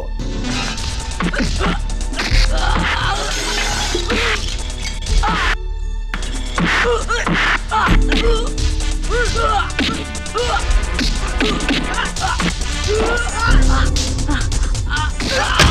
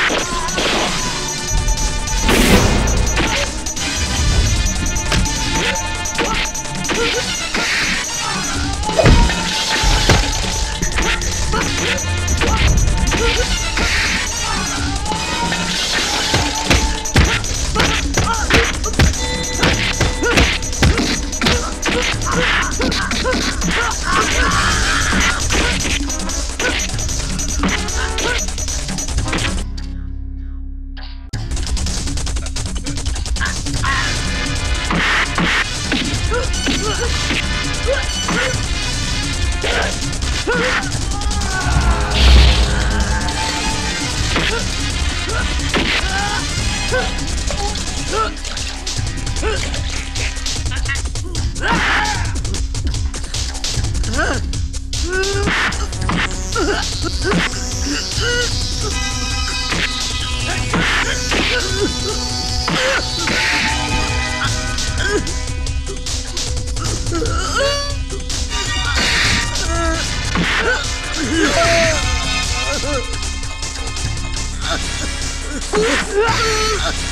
बोल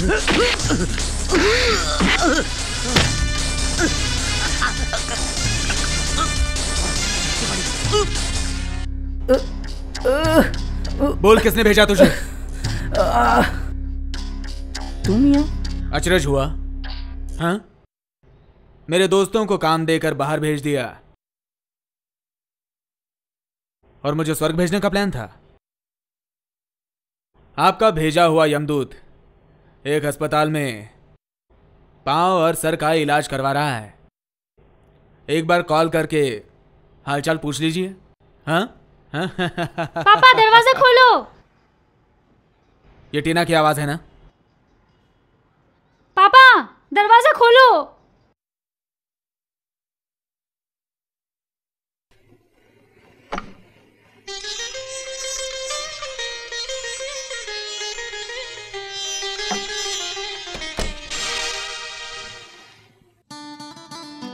तुम्हें कुछ हुआ तो नहीं ना? तुम्हारा प्यार मुझे कुछ नहीं होने देगा। किसकी मजाल है? जो मेरा नुकसान करे। टीना टीना दरवाज़ा खोल। टीना दरवाज़ा खोल टीना। टीना। तुम तो मुझे बंद करके ही रखे थे। तुमने बाहर से बंद कर दिया था। हमने अंदर से कर लिया।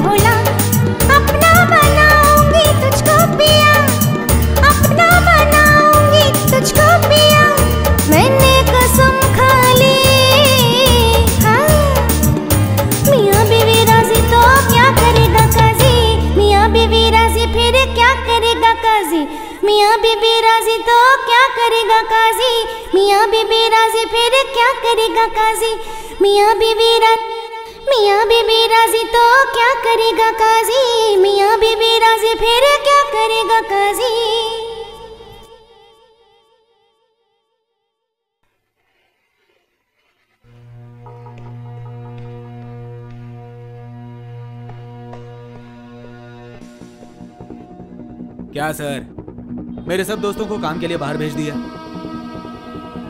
इस गरीब लड़के का क्या दोष था? दोस्त तो तुम्हारा बहुत है। लेकिन सबसे ज़्यादा जो है तुम चाँद को छूने की कोशिश कर रहे हो। आपके इस होने वाले जमाई के साथ मुझे जरा नाप के देखिए। मुझे लगता है उससे मैं थोड़ा सा ज़्यादा ही हूँ। और मैंने चाँद को छूने की कोशिश नहीं की। चाँद खुद आसमान से मेरे पास आ गया। और ये बात आप हमारा गाना सुन के समझ तो गए होंगे। बेकार की बातें छोड़ो। तुम्हें नौकरी करनी है? हाँ सर अगर आप देंगे तो। कोई भी काम हो। लेकिन सर मैं शहर से बाहर नहीं जा पाऊँगा यहीं रहकर काम करना चाहता हूँ। तुमने मेरा ऑफ़िस देखा? हाँ सर टीना ने मुझसे कहा। बैठो। महीने में कितना पगार चाहिए तुम्हें? मेरे चाहने से क्या होगा? आप मेरा काम देखकर दे दीजिए। तुम्हारा काम मैंने देखा है। कई बार देखा है। तुम्हें जो करना चाहिए था वो तुमने किया नहीं। और जो नहीं करना चाहिए वही कर रहे हो। एक बार नहीं बार बार कर रहे हो। सुनो विक्रम टीना मेरी एकलौती बेटी। मैं चाहता हूँ मेरा पसंदीदा लड़का अशोक से वो शादी करेगी। नौकरी देने के बहाने बुला के मुझसे आप ये सब बातें कर रहे हैं? नौकरी करके कितना कमा लेते? दो हज़ार? तीन हज़ार? ज़्यादा से ज़्यादा पाँच हज़ार? मैं तुमको इससे बहुत बहुत ज़्यादा दूँगा। सिर्फ़ टीना से तुम्हारा मिलना जुलना बंद करना होगा। बेटी तो आपकी है। अपनी बेटी से ही बोल दीजिए कि वो मुझसे मिलना बंद कर दे। चलता हूँ। नमस्ते। ठहरो। तुम्हारा तीनों भाई मिलकर महीने में जितना कमा लेते हैं क्या तुम्हें पता है? टीना का हर महीना का पॉकेट मनी उससे बहुत ज़्यादा है। हाँ, टीना की वो बैग जिस दिन मैं लेकर आया था उस दिन बैग के अंदर का पैसा देख लिया था और मैं समझ गया था कि उसका खर्चा कितना है। मतलब सब कुछ जानकर भी तुम? मैं टीना से प्यार करता हूँ। हुँ? तुम्हारे इस प्यार को मैं खरीदना चाहता हूँ। बोलो कितना चाहिए? हाउ मच बोलो। प्यार करता है। Damn it. तुम जो मांगोगे मैं एक चेक में दे दूँगा। बोलो कितना चाहिए तुम्हें। स्पीक आउट आप गलती कर रहे हैं सर। बाज़ार में सामान की तरह प्यार बिकता नहीं है। अरे बिकता है बिकता है। ठीक से भाव मिलता है तो सब बिकता है। सुनो छोकरा मैं तुम्हें एक ब्लैंक चेक लिख के देता हूँ। तुम्हें जितना चाहिए, लिख लेना। मैं समझ लूँगा वो मेरी बेटी की ज़िंदगी की कीमत। ऊपर खाली रख के मैंने साइन कर दिया। जो पैसे चाहिए ले लो। ये लो, पेन लो।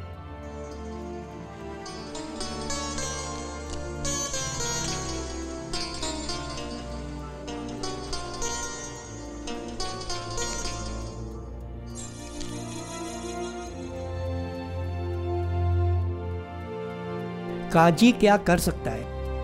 वो कल ही समझ जाओगे। ठीक इसी तरह मैं तुम्हें टुकड़ा टुकड़ा करके बाहर फेंक दूँगा। कोई तुम्हें बचा नहीं सकता। मैं भी कह देता हूँ, टीना को मैं घर से लेकर जाऊँगा। और आपके भाड़े के गुंडे मुझे कुछ नहीं कर पाएँगे। अगर चाहो तो टीना को रोक लो।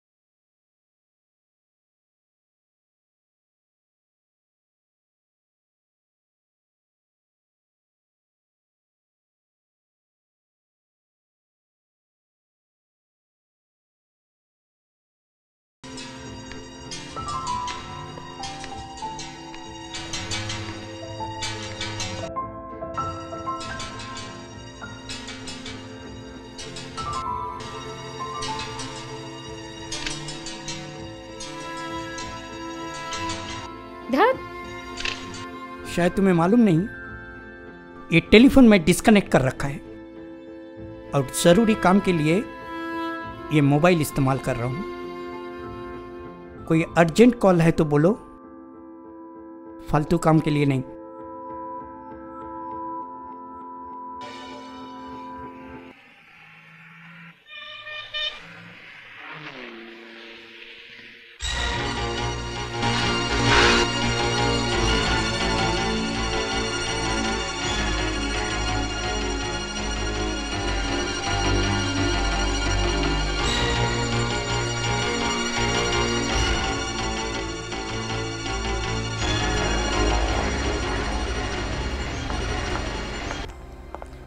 किसको माँगता? मुझे टीना से मिलना है।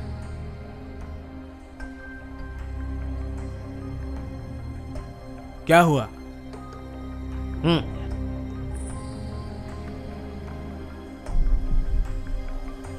यही है लड़का। चलो जाओ।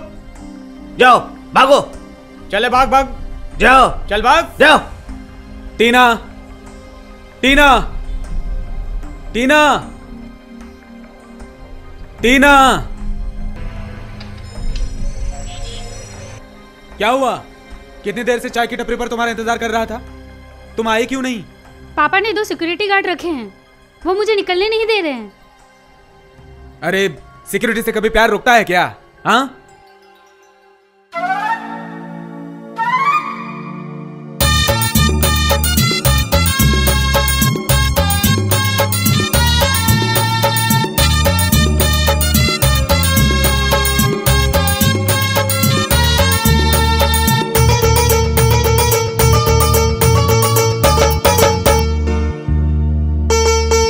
मिया राज़ी, बीवी राज़ी, मिया राज़ी, बीवी राज़ी।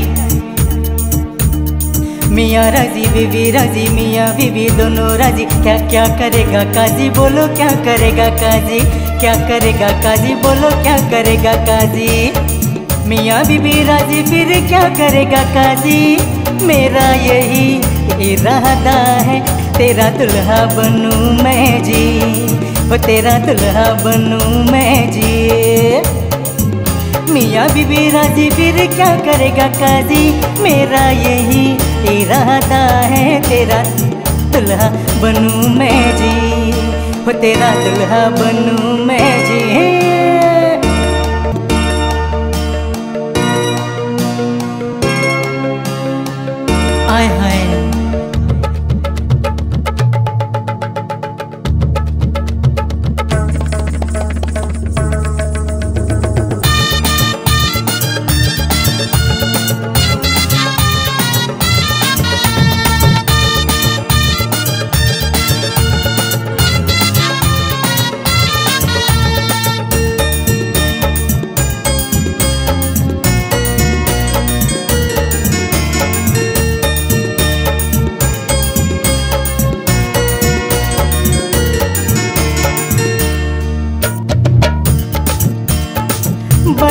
से लाऊं मैं नथनी रे बंध जाएँगे हम फिर सात फेरों में।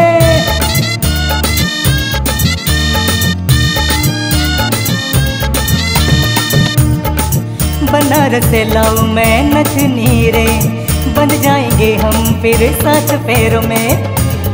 परवाह नहीं घर बाप तेरा। परवाह नहीं घर बाप तेरा। ना दे रजा मंदी। मिया बीवी राज़ी तो क्या करेगा काजी? मिया बीवी राज़ी फिर क्या करेगा काजी?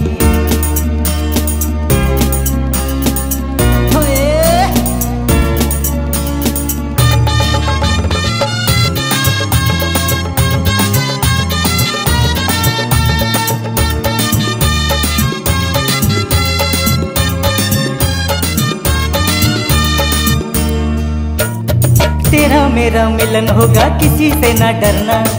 प्यार किया है, प्यार करेंगे बम भोला बम भोला बम भोला बम भोला रे बम भोला बम भोला बम भोला बम भोला रे बम भोला बम भोला तेरा मेरा मिलन होगा किसी से ना डरना। प्यार किया है, प्यार करेंगे बम भोला बम भोला अपना तुझे बनाऊँगा मैं, अपना तुझे बनाऊँगा मैं। मैंने कसम है ली। मियाँ बीबी राज़ी तो क्या करेगा काजी? मियाँ बीबी राज़ी फिर क्या करेगा काजी? मेरा यही इरादा है, तेरा दुल्हा बनू मैं जी। तेरा दुल्हा बनू मैं जी। तेरा दुल्हा बनू मैं जी।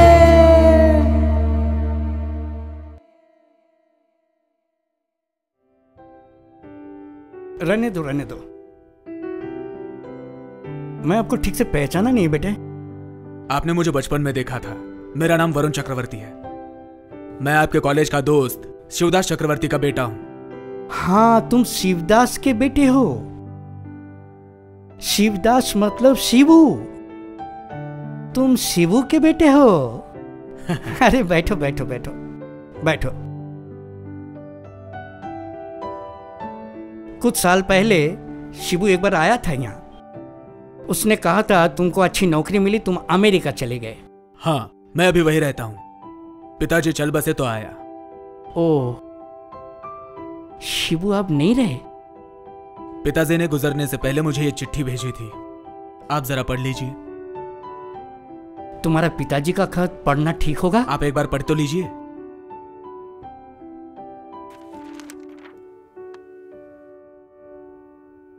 मेरा चश्मा ये पॉकेट में ही है।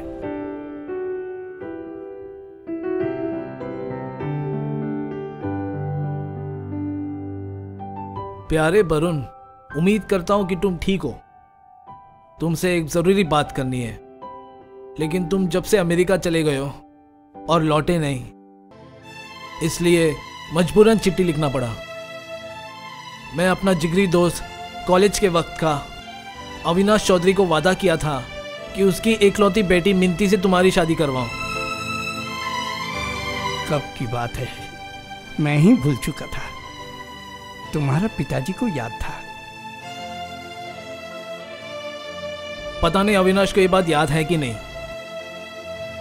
शायद उसे हमारी बात याद नहीं और मिंती की शादी किसी और जगह कर दी हो। ज़िंदगी में मैंने तुमसे कभी कभी कुछ नहीं मांगा। आज मेरा आखिरी वक्त है। तुमसे मेरी एक दरख्वास्त है। एक बार तुम कोलकाता जाओ और अविनाश से मिल लो।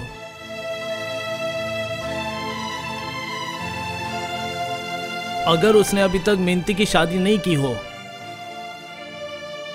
तो कोई बात नहीं।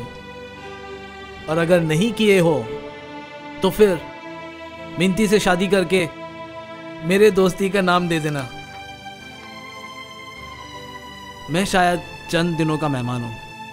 ये मेरी ज़िंदगी की आखिरी इच्छा है। पूरा करना या नहीं करना ये तुम्हारे ऊपर है। ढेर सारा प्यार तुम्हारा पिताजी।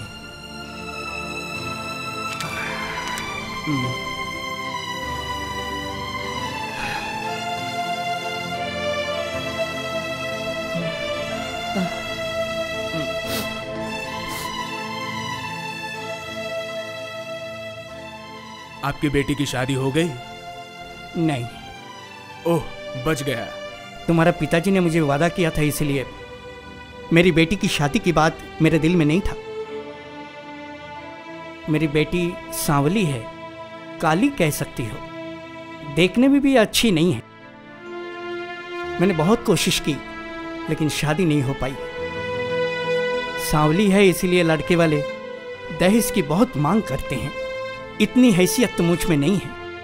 ऐसे मेरे बेटों में भी नहीं है। भगवान जो करते हैं अच्छा करते हैं। मैं चाहता हूँ कि मेरे पिताजी की आखिरी इच्छा पूरी हो। तुमने मेरी बेटी को देखा है? मतलब ऊपर आते समय? नहीं। तुम पहले उसे एक बार देख लो। सिर्फ़ तुम्हारे पिताजी का वादा निभाने के लिए सुनिए उससे मिलने की कोई ज़रूरत नहीं। सुनो तुम्हारे पिताजी का वचन रखने के लिए मतलब ये कोई गुड़िया गुटी का खेल नहीं है। पसंद नहीं है तो दो दिन बाद छोड़ दिया। तुम एक बार देख लो बेटा। मैं उसे बुला लाता हूँ ठीक है? नहीं पिताजी उनको आप बोल दो। किसी पिताजी की बात रखने के लिए मुझसे शादी न करे। हाँ बेटी तू एक बार आना। तुम चलो दीदी। उठो मैं तुम्हें लेके जाती हूँ। क्यों बर मतलब का बार बार मुझे शर्मिंदा करते हो भाभी? कितने सालों से मैं कितनी बार सज धज के बैठी हूँ। सबका एक ही जवाब बाद में बताते हैं। क्योंकि मैं देखने में सुंदर नहीं हूँ ना काली हूँ। ना ना वो लड़का ऐसा नहीं है। वो तो तुझे देखना भी नहीं चाहता। मैंने ही उसे कहा। मुझे पता है।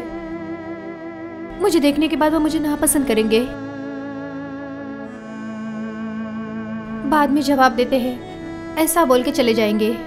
ये आखिरी बार। इसके बाद नहीं बोलूँगी। चलो।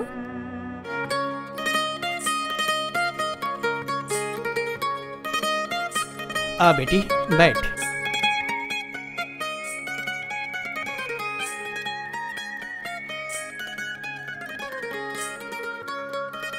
वो सावली है, ये मानता हूँ, लेकिन बदसूरत है, ये नहीं मान सकता। देखो, मैं तो तुम्हें पसंद कर चुका हूँ। जानना चाहता हूँ कि तुम मुझे पसंद करती हो कि नहीं। क्यों मज़ाक कर रहे हो? नहीं नहीं मज़ाक क्यों करूँगा? हर एक इंसान की अपनी पसंद नापसंद होती है। आपको मैं बताऊँ? कम से कम सौ बार मैं लोगों के सामने सच धज कर बैठी हूँ। यहाँ मेरी पसंद क्या मायने रखती है? बिल्कुल है। आप दीदी की बातों को बुरा मत मानिएगा। बुरा मानना तो दूर की बात है। वो सांवली है इससे मुझे कोई आपत्ति नहीं है। उसकी ईमानदारी मुझे बहुत अच्छी लगी। अंकल सत्रह तारीख तक मुझे यहाँ से वापस जाना है। चौदह तारीख को शादी हो जाए तो अच्छा है। चौदह तारीख को शादी? आज आज तो सात तारीख है यानी कि सात दिन बाकी है। इस सात दिनों में इतने पैसों का इंतज़ाम कैसे होगा? सुनो तारीख का पता चलते ही गुड्डू को एक स्वेटर पहनाकर डॉक्टर के पास ले जा रही हूँ बहुत बुखार है। ये कहकर एक टैक्सी लेकर अपने पिताजी से मिलाई पिताजी के पास गए थे? हाँ। घर में जितने गहने थे वो सब? और मेरे और गुड्डू के नाम पर जो फिक्स डिपॉजिट की रिसिप्ट थी वो सब लेकर पिताजी के पास छोड़ आई। तुम्हें क्या लगता है? पैसे अगर कम पड़ते तो अलमारी से पिताजी लेके जाते। कुछ कह नहीं सकते। उस काली कलोटी के लिए एक गोरा दमाद। पिताजी पैसों के लिए तो पागल जैसे फिर रहे हैं। इसका मतलब तुम तुम्हें तो फ़ोटो में सजाना चाहिए। फालतू की बात छोड़ो और असली बात सुनो। कल सुबह आठ बजे पिताजी ने आप सभी भाइयों को और हम बहुओं को अपने कमरे में बुलाया है। सुबह आठ बजे? हाँ कल सुबह जल्दी उठना तुम। वो सब तो ठीक है लेकिन मीटिंग में जाकर करूँगा क्या? मैं तो दस बारह हज़ार से ज़्यादा दे नहीं पाऊँगा। सिर्फ़ दस हज़ार रुपए? इससे ज़्यादा मैं कहाँ से लाऊं? पिछले साल हमने जो ज़मीन खरीदी है उसे बेच दे। तुम क्या पागल हो गए हो? वैसे जगह मिलेगी? ऐसा लड़का भी तो नहीं मिलने वाला। क्या तुम नहीं चाहते कि तुम्हारी बहन खुश रहे? देखो बहन को खुश रखने की ज़िम्मेदारी सिर्फ़ मेरी नहीं है। फिर भी मैं देखता हूँ। क्या कर सकता हूँ? मैं कहना चाहती थी कि सुनो शादी के लिए एक दो गहना यहाँ रख के बाकी पिताजी के घर छोड़ाना पिताजी के पास छोड़ो सुनो जी जो बोलती हूँ वही करोगे आप। सुबह जाके पिताजी से ये बोलोगे कि मेरे पिताजी का साठ हज़ार रुपया खर्चा हुआ है ग्लाड बैडर के ऑपरेशन करने में। तुम्हारे पास एक भी पैसा नहीं। इतने से छोटे से ऑपरेशन के लिए इतने पैसे खर्च हो गए? ये कोई ऐसे ही कोई मान लेगा? विश्वास करे या ना करे उससे हमारा कोई लेना देना नहीं। तुम बहुत अच्छा झूठ बोल देती हो। कुछ दमदार सोचो ना। बोलती हूँ ना जो बोला है वही करो। सब लोग झूठ बोलकर पैसा बचा रहे हैं। तुम भी वही करोगे। तो फिर मैं कितना दे सकता हूँ मैं बोलूँ? ढाई हज़ार से शुरू करो। ढाई हज़ार से शुरू करूँ? सुनो तुम्हारा दिमाग लगाओ। मिनती इस घर में है इसके लिए काम वाली या नौकरानी की गरज नहीं पड़ती हमें। अगर सच में उसकी शादी हो गई तो हमें हमेशा के लिए काम वाली की ज़रूरत पड़ेगी ही। हाँ वो तो रखना ही पड़ेगा। तुम ही सोचो जो लड़की खाना बनाएगी बर्तन मांजेगी घर साफ़ करेगी ये सब करेगी तो कम से कम हज़ार रुपए तो लेगी ही खाना पीना अलग से। हाँ वो तो मानेगा ही। तुम्हारे लोफर भाई को छोड़कर तुम तीनों ही सिर्फ़ कमाते हो। तो उस काम वाली बाई के लिए सभी को तीन सौ चार सौ रुपए एक्स्ट्रा देना पड़ेगा। हाँ बहन की शादी होना मतलब हम सबके लिए नुकसान है। उसके शादी के लिए भी खर्च करूँ और नौकरानी के लिए भी खर्च करूँ? अच्छा हुआ। तुम्हारी बुद्धि तो खुल गई। सुनो दीपू के साथ थोड़ा सलाह मशवरा कर लो। देख लो शादी टूट सकती है या नहीं। बात तुमने तो सही बोला है। जो करना है वो आज की ही रात करना। कल तुम्हारे पिताजी और बड़े भाई चाहेंगे कि शादी हो जाए। ये शादी होगी पिताजी। आप चिंता मत करिए। आप ऐसे कैसे कह रहे हो कि शादी हो जाएगी? पहले ये तो देखो पिताजी कितना खर्चा बता रहे हैं। मैं हिसाब लगा के देखा कि खाना पीना गहना गुड़िया उसके बाद मंडप का खर्चा ये सब मिलाकर कम से कम दो लाख रुपया तो चाहिए ही चाहिए। आया दो लाख रुपए? कहाँ से आएगा पिताजी? वो कहाँ से आएगा वो हम सोचेंगे। तुम औरत लोग बात मत करो। हम लोग बात नहीं करेंगे तो कैसे चलेगा? बेटी की शादी कर रहे हैं तो क्या पूरा परिवार रास्ते पे आ जाएगा? अरे भाभी आप चुप रहिए ना। भैया जब बात कर रहे हैं तो भैया बात करे मतलब? तुम तीनों भाई ऐसे चुपचाप खड़े रहोगे और सारी ज़िम्मेदारी इनकी?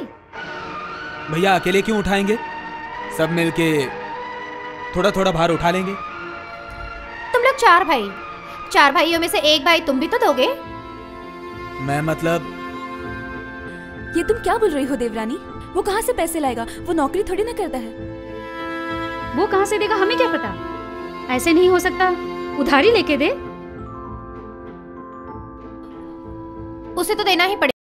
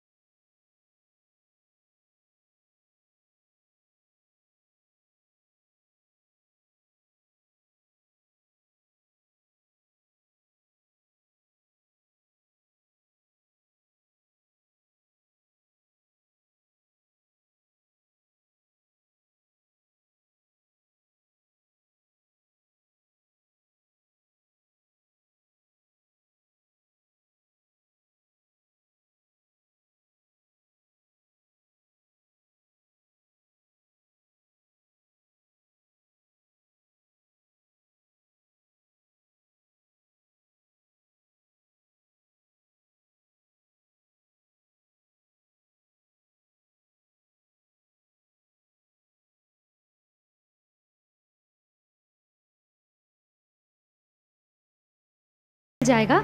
इसलिए तुम्हारी लक्ष्मी बीवी उसके प्यारे लोफट भाई को लेकर छत पर गई है। भैया को पता चलेगा तो नाराज़ होंगे। तुम्हारे भैया को पता ही नहीं चलेगा। उन्होंने ही मुझे कहा था कि सारे गहने पिताजी के पास छोड़ाओ। लेकिन कोई लेकिन नहीं। ये गहने बेच के जो पैसे मिलेंगे सारे पैसे तुम पिताजी के हाथ में दे देना। पकड़ो। ना ना भाभी ये नहीं हो पाएगा। भैया को पता चल गया तो फिर? कहा ना तुम्हारे भैया को पता नहीं चलेगा। भैया को पता चल गया है। वाह। वाह वाह वाह वाह। बढ़िया बहुत बढ़िया। बड़े भाभी आके देख न ले। इसलिए इस लोफर के साथ प्यार करने के लिए छत पे आए हो। भैया चुप हो जाओ। लोफर कहीं का। बहन भाभी कुछ समझ में नहीं आता तुम्हें? ये क्या कह रहे हो तुम? तुम चुप रहो। चलो फिर तुम इस लोफर से बात किया ना तो हाथ पैर तोड़ के रख दूँगा तुम्हारा। एक बार भाभी पर हाथ उठाकर तो बताओ। तुम्हारा हाथ ही तोड़ दूँगा मैं। क्या कहा? तुम्हें क्या लगता है? तुम मेरे ही सामने मेरे पति का अपमान करोगे और मैं चुपचाप सुन लूँगी? छोटे भाई की तरह प्यार करती हूँ तुमसे। सबके सामने तुम्हें अपमानित ना होना पड़े, इसलिए चुपचाप गहने देने वाली थी तुम्हें। इसका मतलब ये तो नहीं कि तुम लोफर बन के मेरे पति को जो चाहे कह लो और मैं चुपचाप सुन लूँ। माफ़ी मांगो भैया से। जाओ तुरंत जाओ। जाओ मैंने कहा जाओ अभी के अभी जाओ।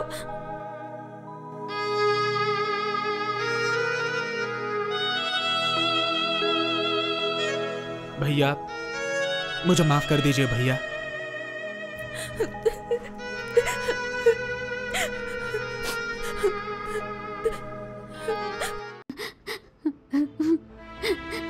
क्या हुआ? रो क्यों रही हो? सिर्फ़ अभी क्यों? पूरी ज़िंदगी रोती रहो इसकी तो व्यवस्था कर रहे हो। एक बहन के लिए मुझे और गुड्डू को रास्ते पे बिठा दे रहे हो। रास्ते पे ला रहा हूँ? और नहीं तो क्या? पापा से फिक्स डिपॉजिट के सर्टिफिकेट्स ले आए गहने ले आए। मैं ज़िंदा रहा तो फिर से बना दूँगा। चलो जल्दी साइन करो बैंक में जाना है। दो दिन का ही समय बचा है। हमारे फिक्स डिपॉजिट के पचास हज़ार तो दे ही रहे हो। फिर ऑफ़िस से पचास हज़ार का लोन के लिए दरखास्त लिख रहे हो। महीने महीने दो हज़ार तो तुम्हारे तनख्वाह से कट जाएँगे। इसके बाद गुड्डू के महीने का फ़ीस कैसे दूँगी? और परिवार के लिए भी कैसे चलेगा? कैसे चलेगा चिंता मेरी है। चलो जल्दी से साइन करो। हाँ? नहीं भाभी आप साइन मत करना। ये क्या? तू?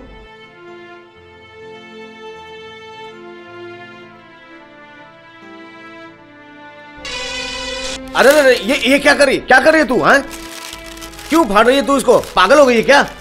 पागल।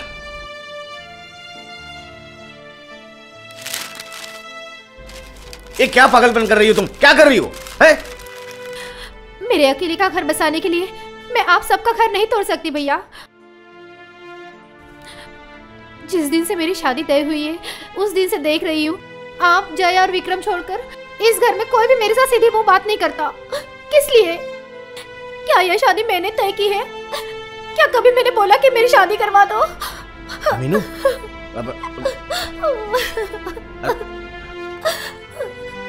भैया मेरे ज़िंदा रहने तक आप मुझे दो वक्त का खाना नहीं दे सकते क्या? अरे अरे तू क्या बोल रही है? पहले जैसे घर का सब काम करती थी वैसे ही सब काम करूँगी घर का। अरे तू तो बहन को दो वक्त का खाना नहीं खिला सकते भैया। अरे तू तो बोलो ना भैया बोलो ना भैया। अरे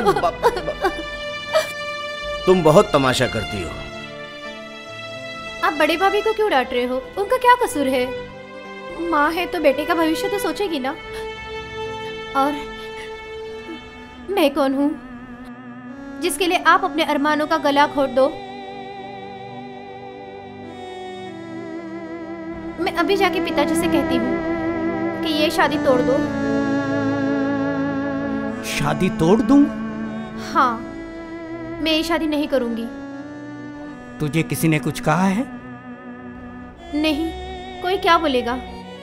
मैं बोल रही हूँ। ये शादी तोड़ दो पिताजी। बोलना तुझे किसने क्या कहा? आ हर बात में तू क्यों टांग अड़ाता है? उसे अगर किसी ने कुछ कहा है तो कुछ कर पाएगा?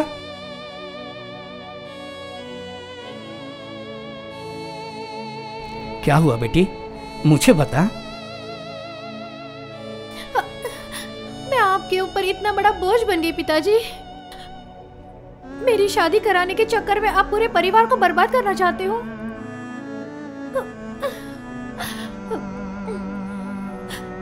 वादा करो, ये शादी नहीं होगी। वादा करो कि आप किसी से एक भी पैसा नहीं लोगे।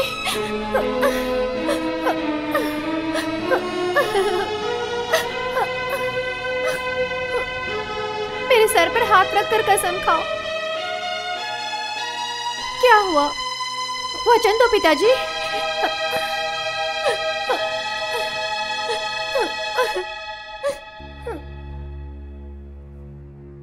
तुझे छूकर मैं कसम खाता हूँ बेटी।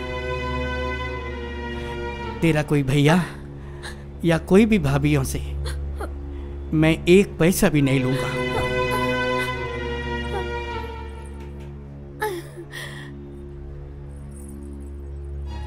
मेरे अच्छे पिताजी मेरे प्यार है पिताजी।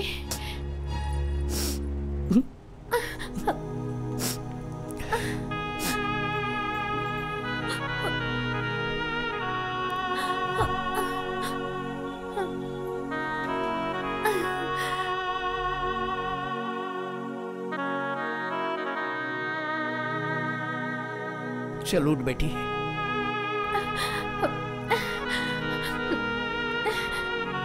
तेरी शादी तो मैं करवाऊँगा बेटी। किसी से भी एक रुपया लिए भी नहीं शादी की जो तारीख है उसी तारीख में ही तेरी शादी होगी।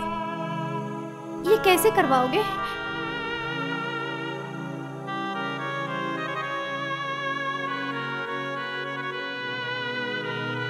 इस मकान को मैं बेच डालूँगा। नहीं पिताजी।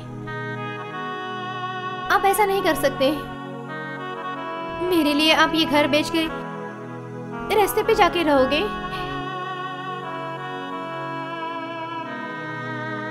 रास्ते में क्यों आऊँगा बेटी? मकान बेच के जो मिलेगा, तेरी शादी करवा के भी कुछ रहेगा। और तू जाने के बाद ये गधे को छोड़कर और कोई बोझ नहीं रहेगा मेरा।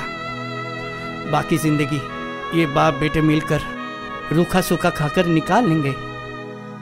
ना पिताजी, ना। आप ये भूल कभी ना करना। आप ये भूल ना करना। भैया भाभी के आंसुओं से मेरा घर संसार नहीं बन सकता पिताजी। आप ऐसा मत करना पिताजी। कल शाम को तुम्हारा दोस्त का बेटा आएगा। उसे बोल देना कि वो किसी और लड़की से जाके शादी कर ले।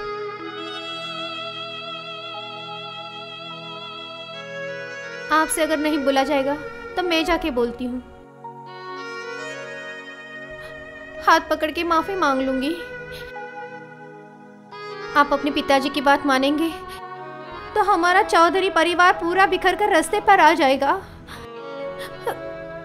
इस बदनसीब को आप मुक्ति दे दो।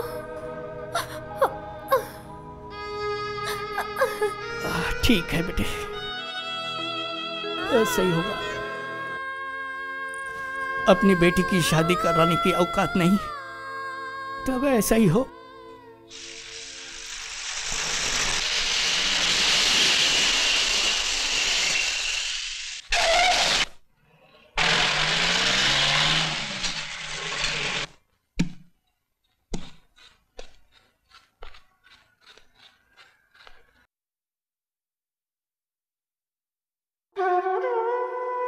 क्यों रे? दो दिन के बाद तेरी बहन की शादी है। तू अकेला यहाँ पर बैठा है? लगता है शादी नहीं हो पाएगी सर। क्यों? क्यों नहीं होगा? पैसे का इंतज़ाम हुआ नहीं है। आज शाम को पुलिस स्टेशन आके मैं आपको दिया हुआ कार्ड वापस लेने वाला था। तू चल मेरे साथ। बैठ।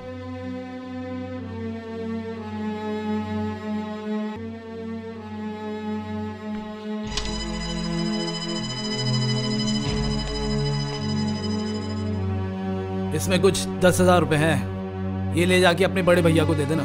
नहीं सर मैं आपके ये पैसे नहीं ले सकता। सुन ये तेरा ही पैसा है। हाँ इन कुछ सालों में तुझे बहुत बार अरेस्ट किया। तुम्हारे बड़े भाई तुम्हें हमेशा छुड़ा कर ले गए थे। हाँ, मैं अगर रिश्वत नहीं लेता तो ये पैसे तेरे भाई के पास ही रहते। अब शादी में काम आएगा। ले भाई रख ले ये पैसे। सौ पाप किया मैंने। एक तो अच्छा काम कर लू। इसे आप रख लीजिए, सर। मैं आपसे वादा करता हूँ। अगर दीदी की शादी हुई तो आपके आशीर्वाद के तौर पे मैं ये पैसे लेकर जाऊँगा।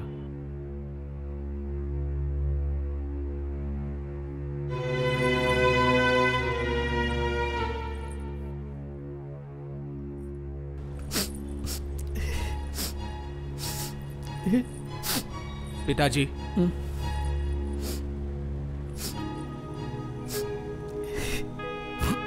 पिताजी। अब तुम लोग कोई मुझे पिताजी मत बोलना। जाओ यहाँ से। चार चार जवान बेटे होते हुए मेरी बेटी की शादी नहीं हो पाई। कार्ड छप चुके हैं, निमंत्रण दे चुके हैं। और आप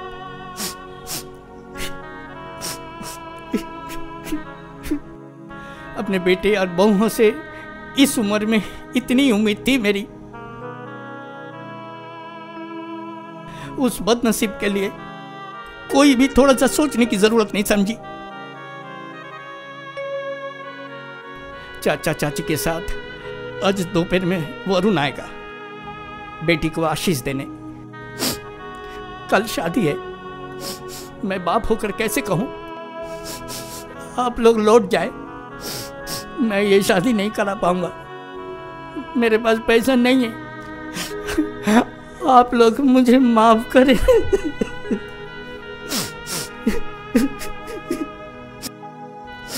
वो बदनसीब रात को सोने आएगी इधर।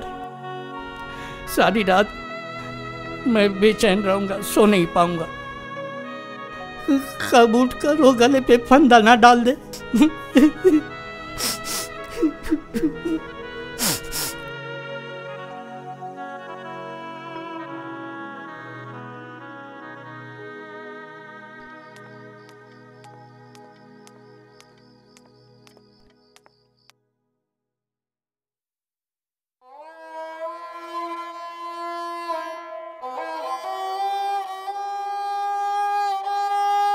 क्या रे भाई, मैंने ठीक किया ना? तुम्हें और पिताजी को छोड़कर मैं जाके दूसरी जगह कैसे रह सकती? तू भी तो मुझे छोड़कर नहीं रह सकता ना?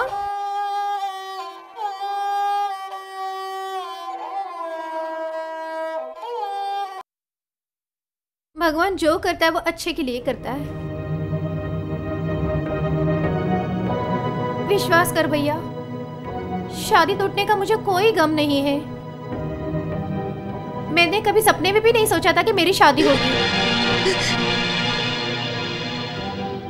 मुझे तो दुख है सिर्फ़ पिताजी का। सुबह से शादी का कार्ड लेके रोते जा रहे हैं। मैं तो अपने आप को अपराधी समझ रही हूँ।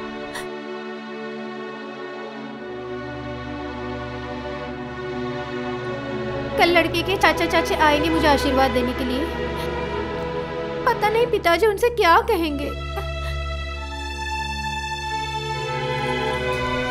मुझे तो डर लग रहा है। आज रात को पिताजी कहीं कुछ कर ना बैठे।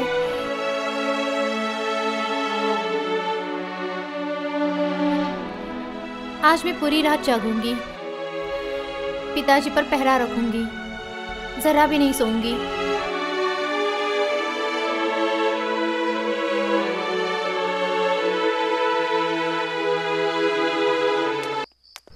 मुझे पता था। आज नहीं तो कल तुम आओगे। आओ कम हियर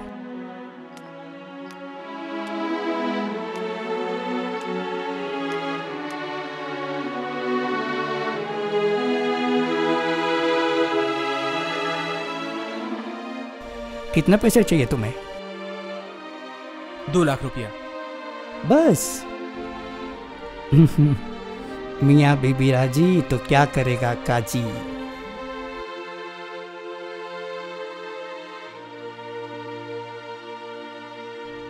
नंदन बुरा लड़का, बेकार है। बाज़ार से हफ़्ता वसूल करता है। यही बात तुमने टीना को कही थी मतलब समझाया था, तुम्हारा फ़ायदा के लिए हम्म? लेकिन अभी तुम क्या कर रहे हो? हाँ? क्या कर रहे हो? हफ़्ता वसूल करने के लिए नंदन कभी अपना बाप और बेटी के छाती में चाकू नहीं मारा? नंदन गुंडा है, यह वो कबूल करता है। लेकिन तुम्हारे जैसा शरीफों का नकाब पहनकर अमीर घराने की लड़कियों को फंसा के पैसा वसूल नहीं करते। बिन माँ के बेटी के एक बेबस पिता के कमज़ोरी का फ़ायदा उठा के नंदन किसी को ब्लैकमेल नहीं करता। मैं घर पे फ़ोन कर देता हूँ। सिक्योरिटी के लोग आज तुम्हें अंदर जाने देगा। तुम अंदर जाके टीना से मेरे बारे में पूछना। टीना ज़रूर तुम्हें पूछेगी तुम मेरे बारे में क्यों पूछ रहे हो। तब तुम उसे सीधा सीधा बोल देना। तुम प्यार बेचने आए हो। हाँ सिर्फ़ पैसा कमाने के लिए ही तुम टीना के साथ प्यार का नाटक खेला था। तुम पहुँचने के थोड़ी देर बाद ही मैं वहाँ पहुँच जाऊँगा। और तुम्हारे जैसे एक लोफर को प्यार की कीमत समझ के टीना ही तुम्हारे हाथ में लाके देंगे दो लाख रुपया। हाँ। याद रहे घात पे घात करते रहोगी और टीना रोएगी तो ही तुमको मिलेगा दो लाख रुपया। प्यार व्यार नहीं, टीना की आँसू की कीमत है ये, जो तुम्हें दो लाख रुपया मिलेगा।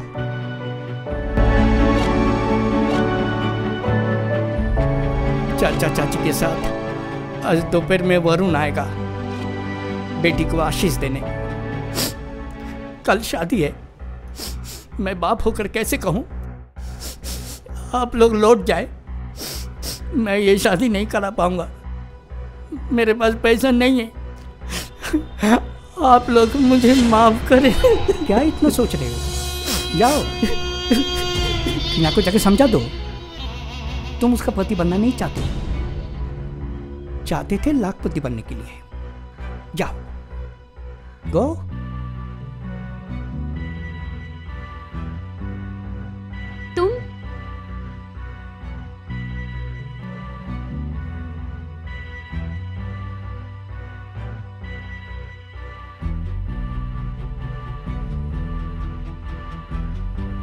सिक्योरिटी वाले तुम्हें आने दिए? हाँ तुम्हारे पिताजी से मैंने बात की। आखिरी बार। ज़िंदगी में कभी फिर इस घर में नहीं आऊँगा। यहाँ कभी नहीं आओगे? नहीं और यही बात मैं अपने मुँह से तुम्हें बताने के लिए आया हूँ। क्यों? क्यों नहीं आओगे? मैं जीना चाहता हूँ टीना। वो एक लोफर बनकर नहीं। आम आदमी की तरह मुझे सर ऊँचा कर कर जीना है। और वही मौका तुम्हारे पिताजी मुझे दे रहे हैं। मेरे पिताजी तुम्हें मौका दे रहे हैं? हाँ उन्होंने मुझे कहा है अगर मैं तुमसे दूर रहूँगा तो आज ही मुझे दो लाख रुपया दे देंगे। तुम मान गए? क्यों नहीं? मैं तो इसी मौके के इंतज़ार में था। ज़िंदगी में खड़ा होने के लिए मिला हुआ एक मौका किसी लड़की के लिए मैं क्यों गवाऊं जिसे मैंने एक दिन भी प्यार नहीं किया? प्यार नहीं किया? नहीं। तुमसे मैंने पहले ही कहा था ऐसे लोफर का काम ही है ये। शरीफों का नकाब पहनकर अमीरों को ब्लैकमेल करना। तुमने मेरी बात नहीं मानी। इसलिए उसको भेजा था। उसी की जबानी से सच्चाई खुद ही सुन लो। तुम तुम सिर्फ़ पैसों के लिए मुझसे खेल रहे थे? हाँ। और पैसा मुझे अभी के अभी चाहिए। तुम्हारे पिताजी से कहो कि पैसे जल्दी दे दे। और रोने का नाटक बाद में करना। तुम जैसे एक लोफर के लिए मुझे रोने का कोई शौक नहीं। कोई शौक नहीं।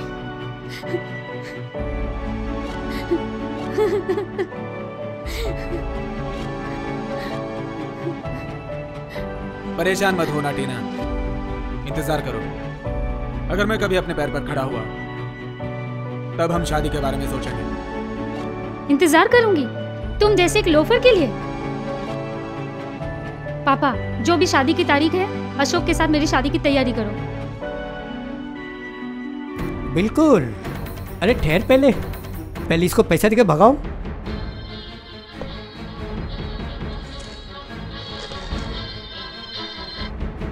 तुम नहीं। इस लोफर को पैसे मैं दूँगी। पैसे के लिए तो ये सब नाटक है। लो पैसे। लो। लो। लो। लो। ये भी लो। लो गिन लो पैसे। तुम्हें मिले होंगे कई कीमती रतन मिलेगा न कोई हमसा सजन। आहा, हा। आहा, हा। ला ला ला ला ला ला। तुम्हें मिले होंगे कई कीमती रतन मिलेगा न कोई हमसा सजन।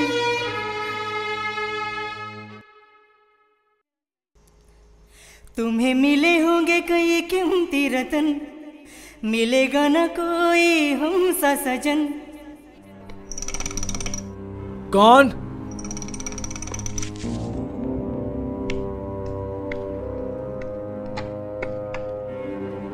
अरे विक्रम! आजा आजा अंदर आजा आजा। बैठ। रत्ना कहाँ है? उसके पापा के हार्ट अटैक के बाद से वो वहीं पर है। ओह आज का अखबार पढ़ा है। कल रात को कोने वाले ज्वेलरी की दुकान से दरवाज़ा तोड़ के किसी ने दो लाख के जेवरात चोरी किए। वो सब बात में सुना। क्या तू मेरा एक काम कर सकता है? बोल क्या काम है? दो लाख रुपया?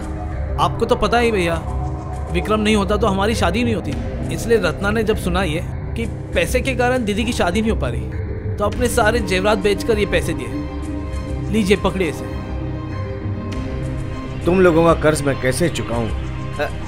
चलो पिताजी के कमरे में चलते हो बहुत खुश हो जाएँगे। चलो। आज मैं जाता हूँ भैया बहुत काम है आज। बाद में आता हूँ मैं। चलता हूँ। आजा। जा जा जा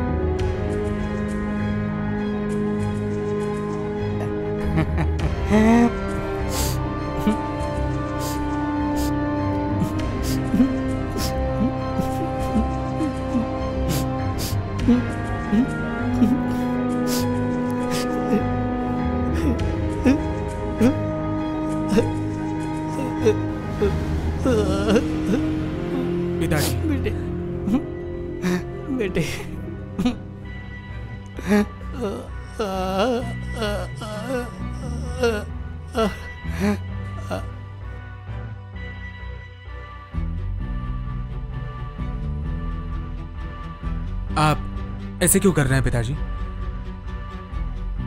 मैंने तो कुछ भी नहीं किया। उधारी तो लिया है। हम बड़े भाई जो नहीं कर सके वो तूने कर दिया। नौकरी पे होते हुए भी हम उधार लेने से डर रहे थे। बेटे बेटे। शादी हो जाने दे। तेरे दोस्त का कर्जा हम चुकाएँगे।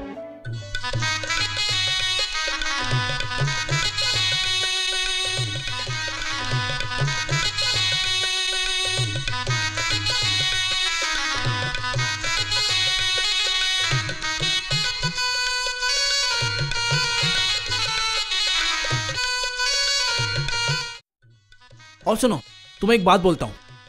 आज अगर विक्रम के बड़े भाई राजीव जी तुमसे कुछ पूछे। रत्ना! बाप रे। क्या हुआ? नहीं मतलब रत्ना तुमने हमारे पूरे परिवार को डूबने से बचा लिया। तुम मुझसे छोटी नहीं होती तो बीस सड़क पे मैं तुम्हारे पैर छू के प्रणाम करता। ये आप क्या कह रहे हो भैया? मेरी तो कुछ समझ नहीं आ रहा। विक्रम ने सब कुछ बता दिया। अगर तुम अपने गहने को बेचकर विक्रम को दो लाख रुपए नहीं देती तो फिर तो भैया आपको शायद गलत फहमी हो रही है। मेरे इतने गहने है ही कहा? जो मैं उन्हें बेचूं? क्यों जी? बोलिए ना। तुमने तुम्हारे गहने बेच के विक्रम को दो लाख रुपए नहीं दिए? नहीं तो? विक्रम भैया से मैं तो मिली ही नहीं हूँ अब तक। दीदी की शादी में शामिल होना है इसलिए मैं मायके से चली आई हूँ आज। फिर विक्रम दो लाख रुपए लाया कहाँ से? मुझे मुझे नहीं पता भैया। तो फिर उस दिन तुमने जो कुछ मुझे कहा? विक्रम ने मुझे ये बोलने के लिए बोला था। मैंने उनसे पूछा था भैया। वो मुझे भी नहीं पता है पैसे कहाँ से आए?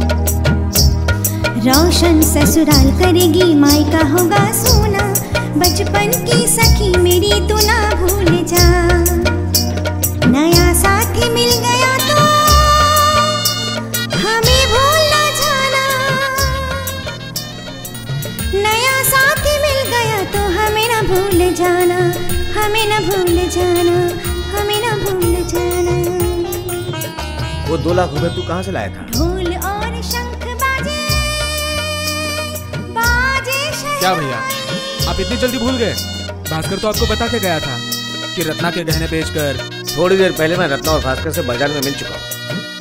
रत्ना ने बोला उसने कोई गहने बेचे। अरे नहीं नहीं उसे नहीं दिए वो आपसे झूठ बोल रहा था। चलो चलो अब अरे रुक रुक रुक रुक। हल्दी लगाओ ले चलूँ सजाऊं रिहाई। सच बोल पैसे कहाँ से लाए? अरे बाबा कहा ना? रत्ना के गहने बेचकर। फिर से झूठ बोल रहा है। उठ! बोल पैसे कहाँ से लाए तूने? बोला ना रत्ना ने दिए शादी में सीन क्रिएट मत कर सच बोल पैसे कहाँ से लाए? मैं नहीं बोल सकता। नहीं बोल पाएगा?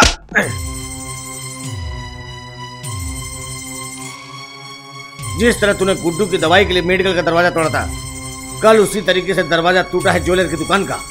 अब मुझे लगता है कि ये काम तूने किया है। नहीं मैंने चोरी नहीं की। उठ! तो बोल पैसे कहाँ से लाए? नहीं बताऊँगा। बोलेगा नहीं? हम्म? नहीं। बस इतना मैं कह सकता हूँ कि ना मैंने चोरी की है ना डकैती तो फिर इतने पैसे कहाँ से लाए? बोल। कहा ना मैंने? नहीं बता पाऊँगा। नहीं बोलेगा। ए, ए, ए, ए। बड़े भैया बड़े भैया बड़े भैया क्या कर रहे हो? भैया, बड़े बड़े भैया। क्या हुआ भैया? भैया। भैया दरवाज़ा खोलिए। चल पुलिस स्टेशन चल चल। भैया दरवाज़ा खोलिए। चल। क्या हुआ?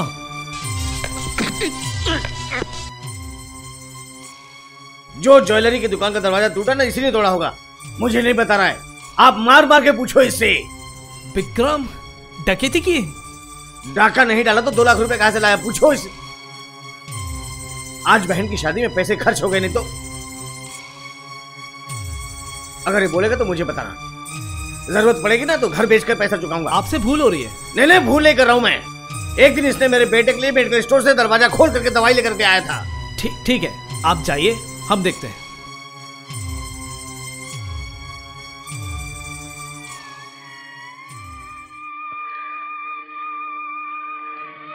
तो ऐसा एक काम कर दिया है। तेरे भगवान जैसे भाई भी तुम पर शक कर रहे हैं। मुझे बताओ, ये पैसे तुम कहाँ से लाए? यस सर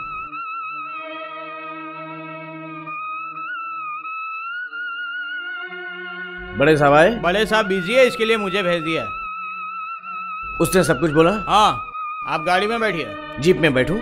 हाँ बैठिए। कहाँ से आपके भाई पैसे लेके आए हैं? वो देखने चलिए।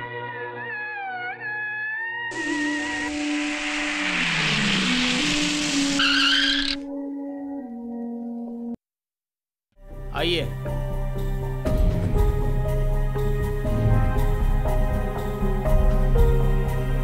ये विक्रम के बड़े भाई हैं। आपसे मिलने आए हैं। नमस्ते। क्यों? उसको क्या और भी पैसे की ज़रूरत पड़ेगी? मेरी बेटी की ज़िंदगी की कीमत तो सिर्फ़ दो लाख रुपया मांगा। हम्म, वो पैसा तो मैंने दे दिए। आपको पता है वो दो लाख रुपया मेरे लोफर भाई ने क्यों लिया था? मुझे ये सब जानने की कोई ज़रूरत नहीं। आप जा सकते हैं। आपको ज़रूरत नहीं है लेकिन आपको सुनना पड़ेगा। पैसे किस लिए लिए थे? बोला ना मुझे सुनना नहीं है। तो फिर आप अपनी बेटी को बुलाइए। मैं उसको सारी बातें बताऊँगा। अरे बोला ना मैं कुछ सुनना नहीं चाहता। आप लोग जाइए।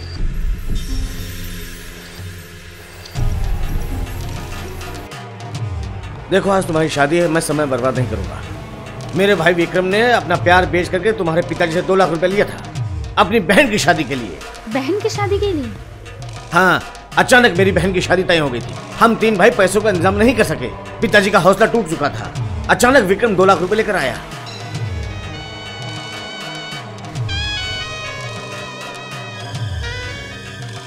उसके बाद?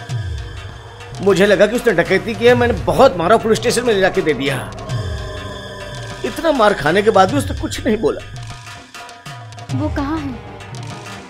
तुम्हारे घर के सामने पुलिस की जीप में है। तू कहाँ जा रही है? तुम अशोक को फ़ोन करके बता दो मैं ये शादी नहीं करूँगी।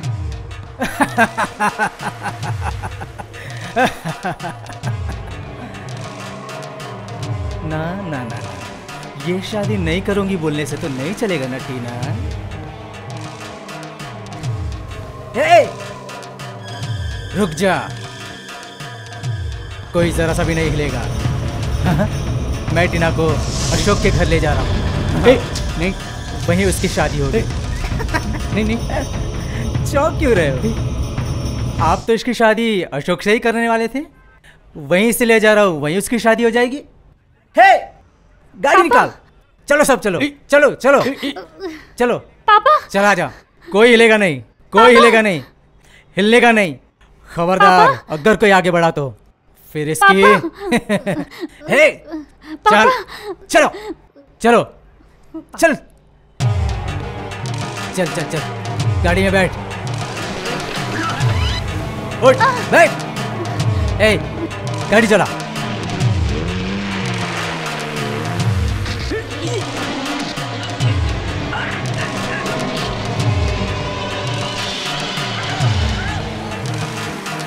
चुप चुप।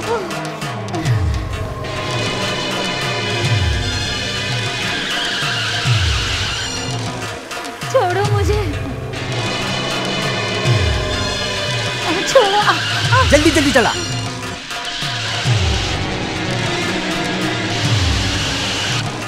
चुपचाप बैठी रहे। ज़्यादा पटर पटर मत कर। समझी?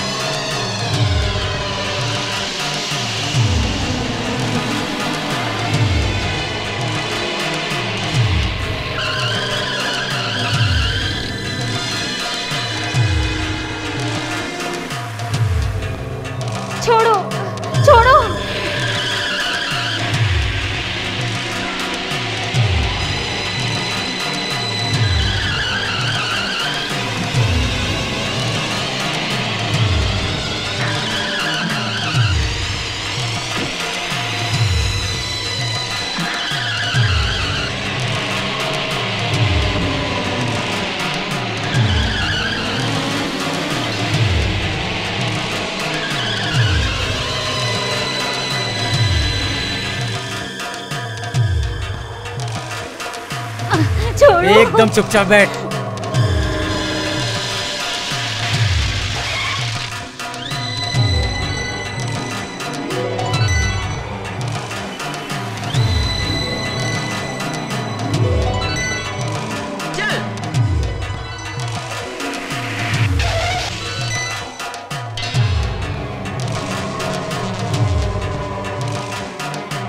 ए जा साले को जाके मार।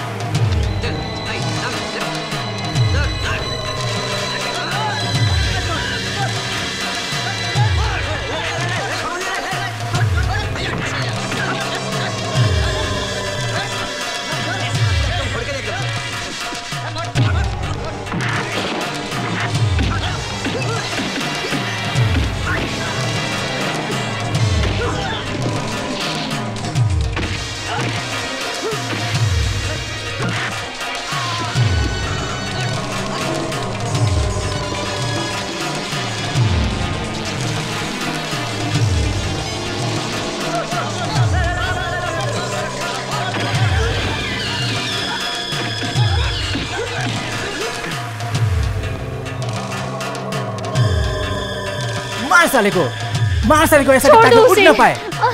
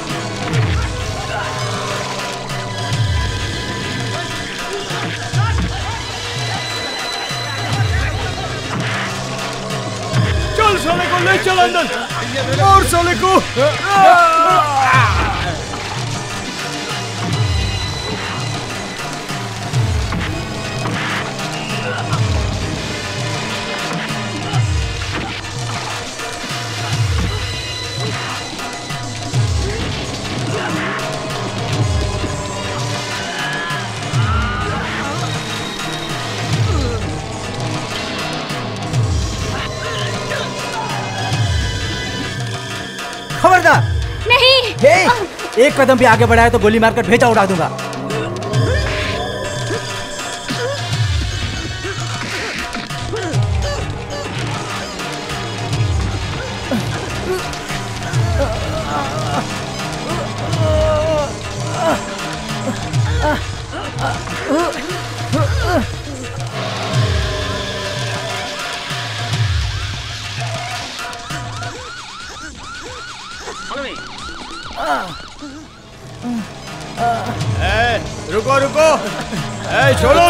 छोड़ूँगा मैं।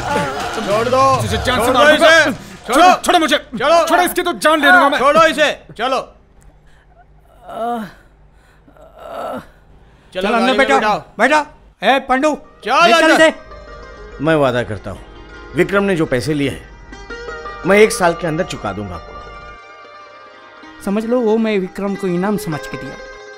उसने मेरी बेटी की जान बचाई। ये उसका इनाम है। मेरी जाना, छोड़ो तड़पाना, ओ मेरी जाना, छोड़ो तड़पाना, सीने से लग जा जरा। तेरे बिना बुझिया जाए ना, आह तेरे बिना बुझिया जाए ना। ओ मेरी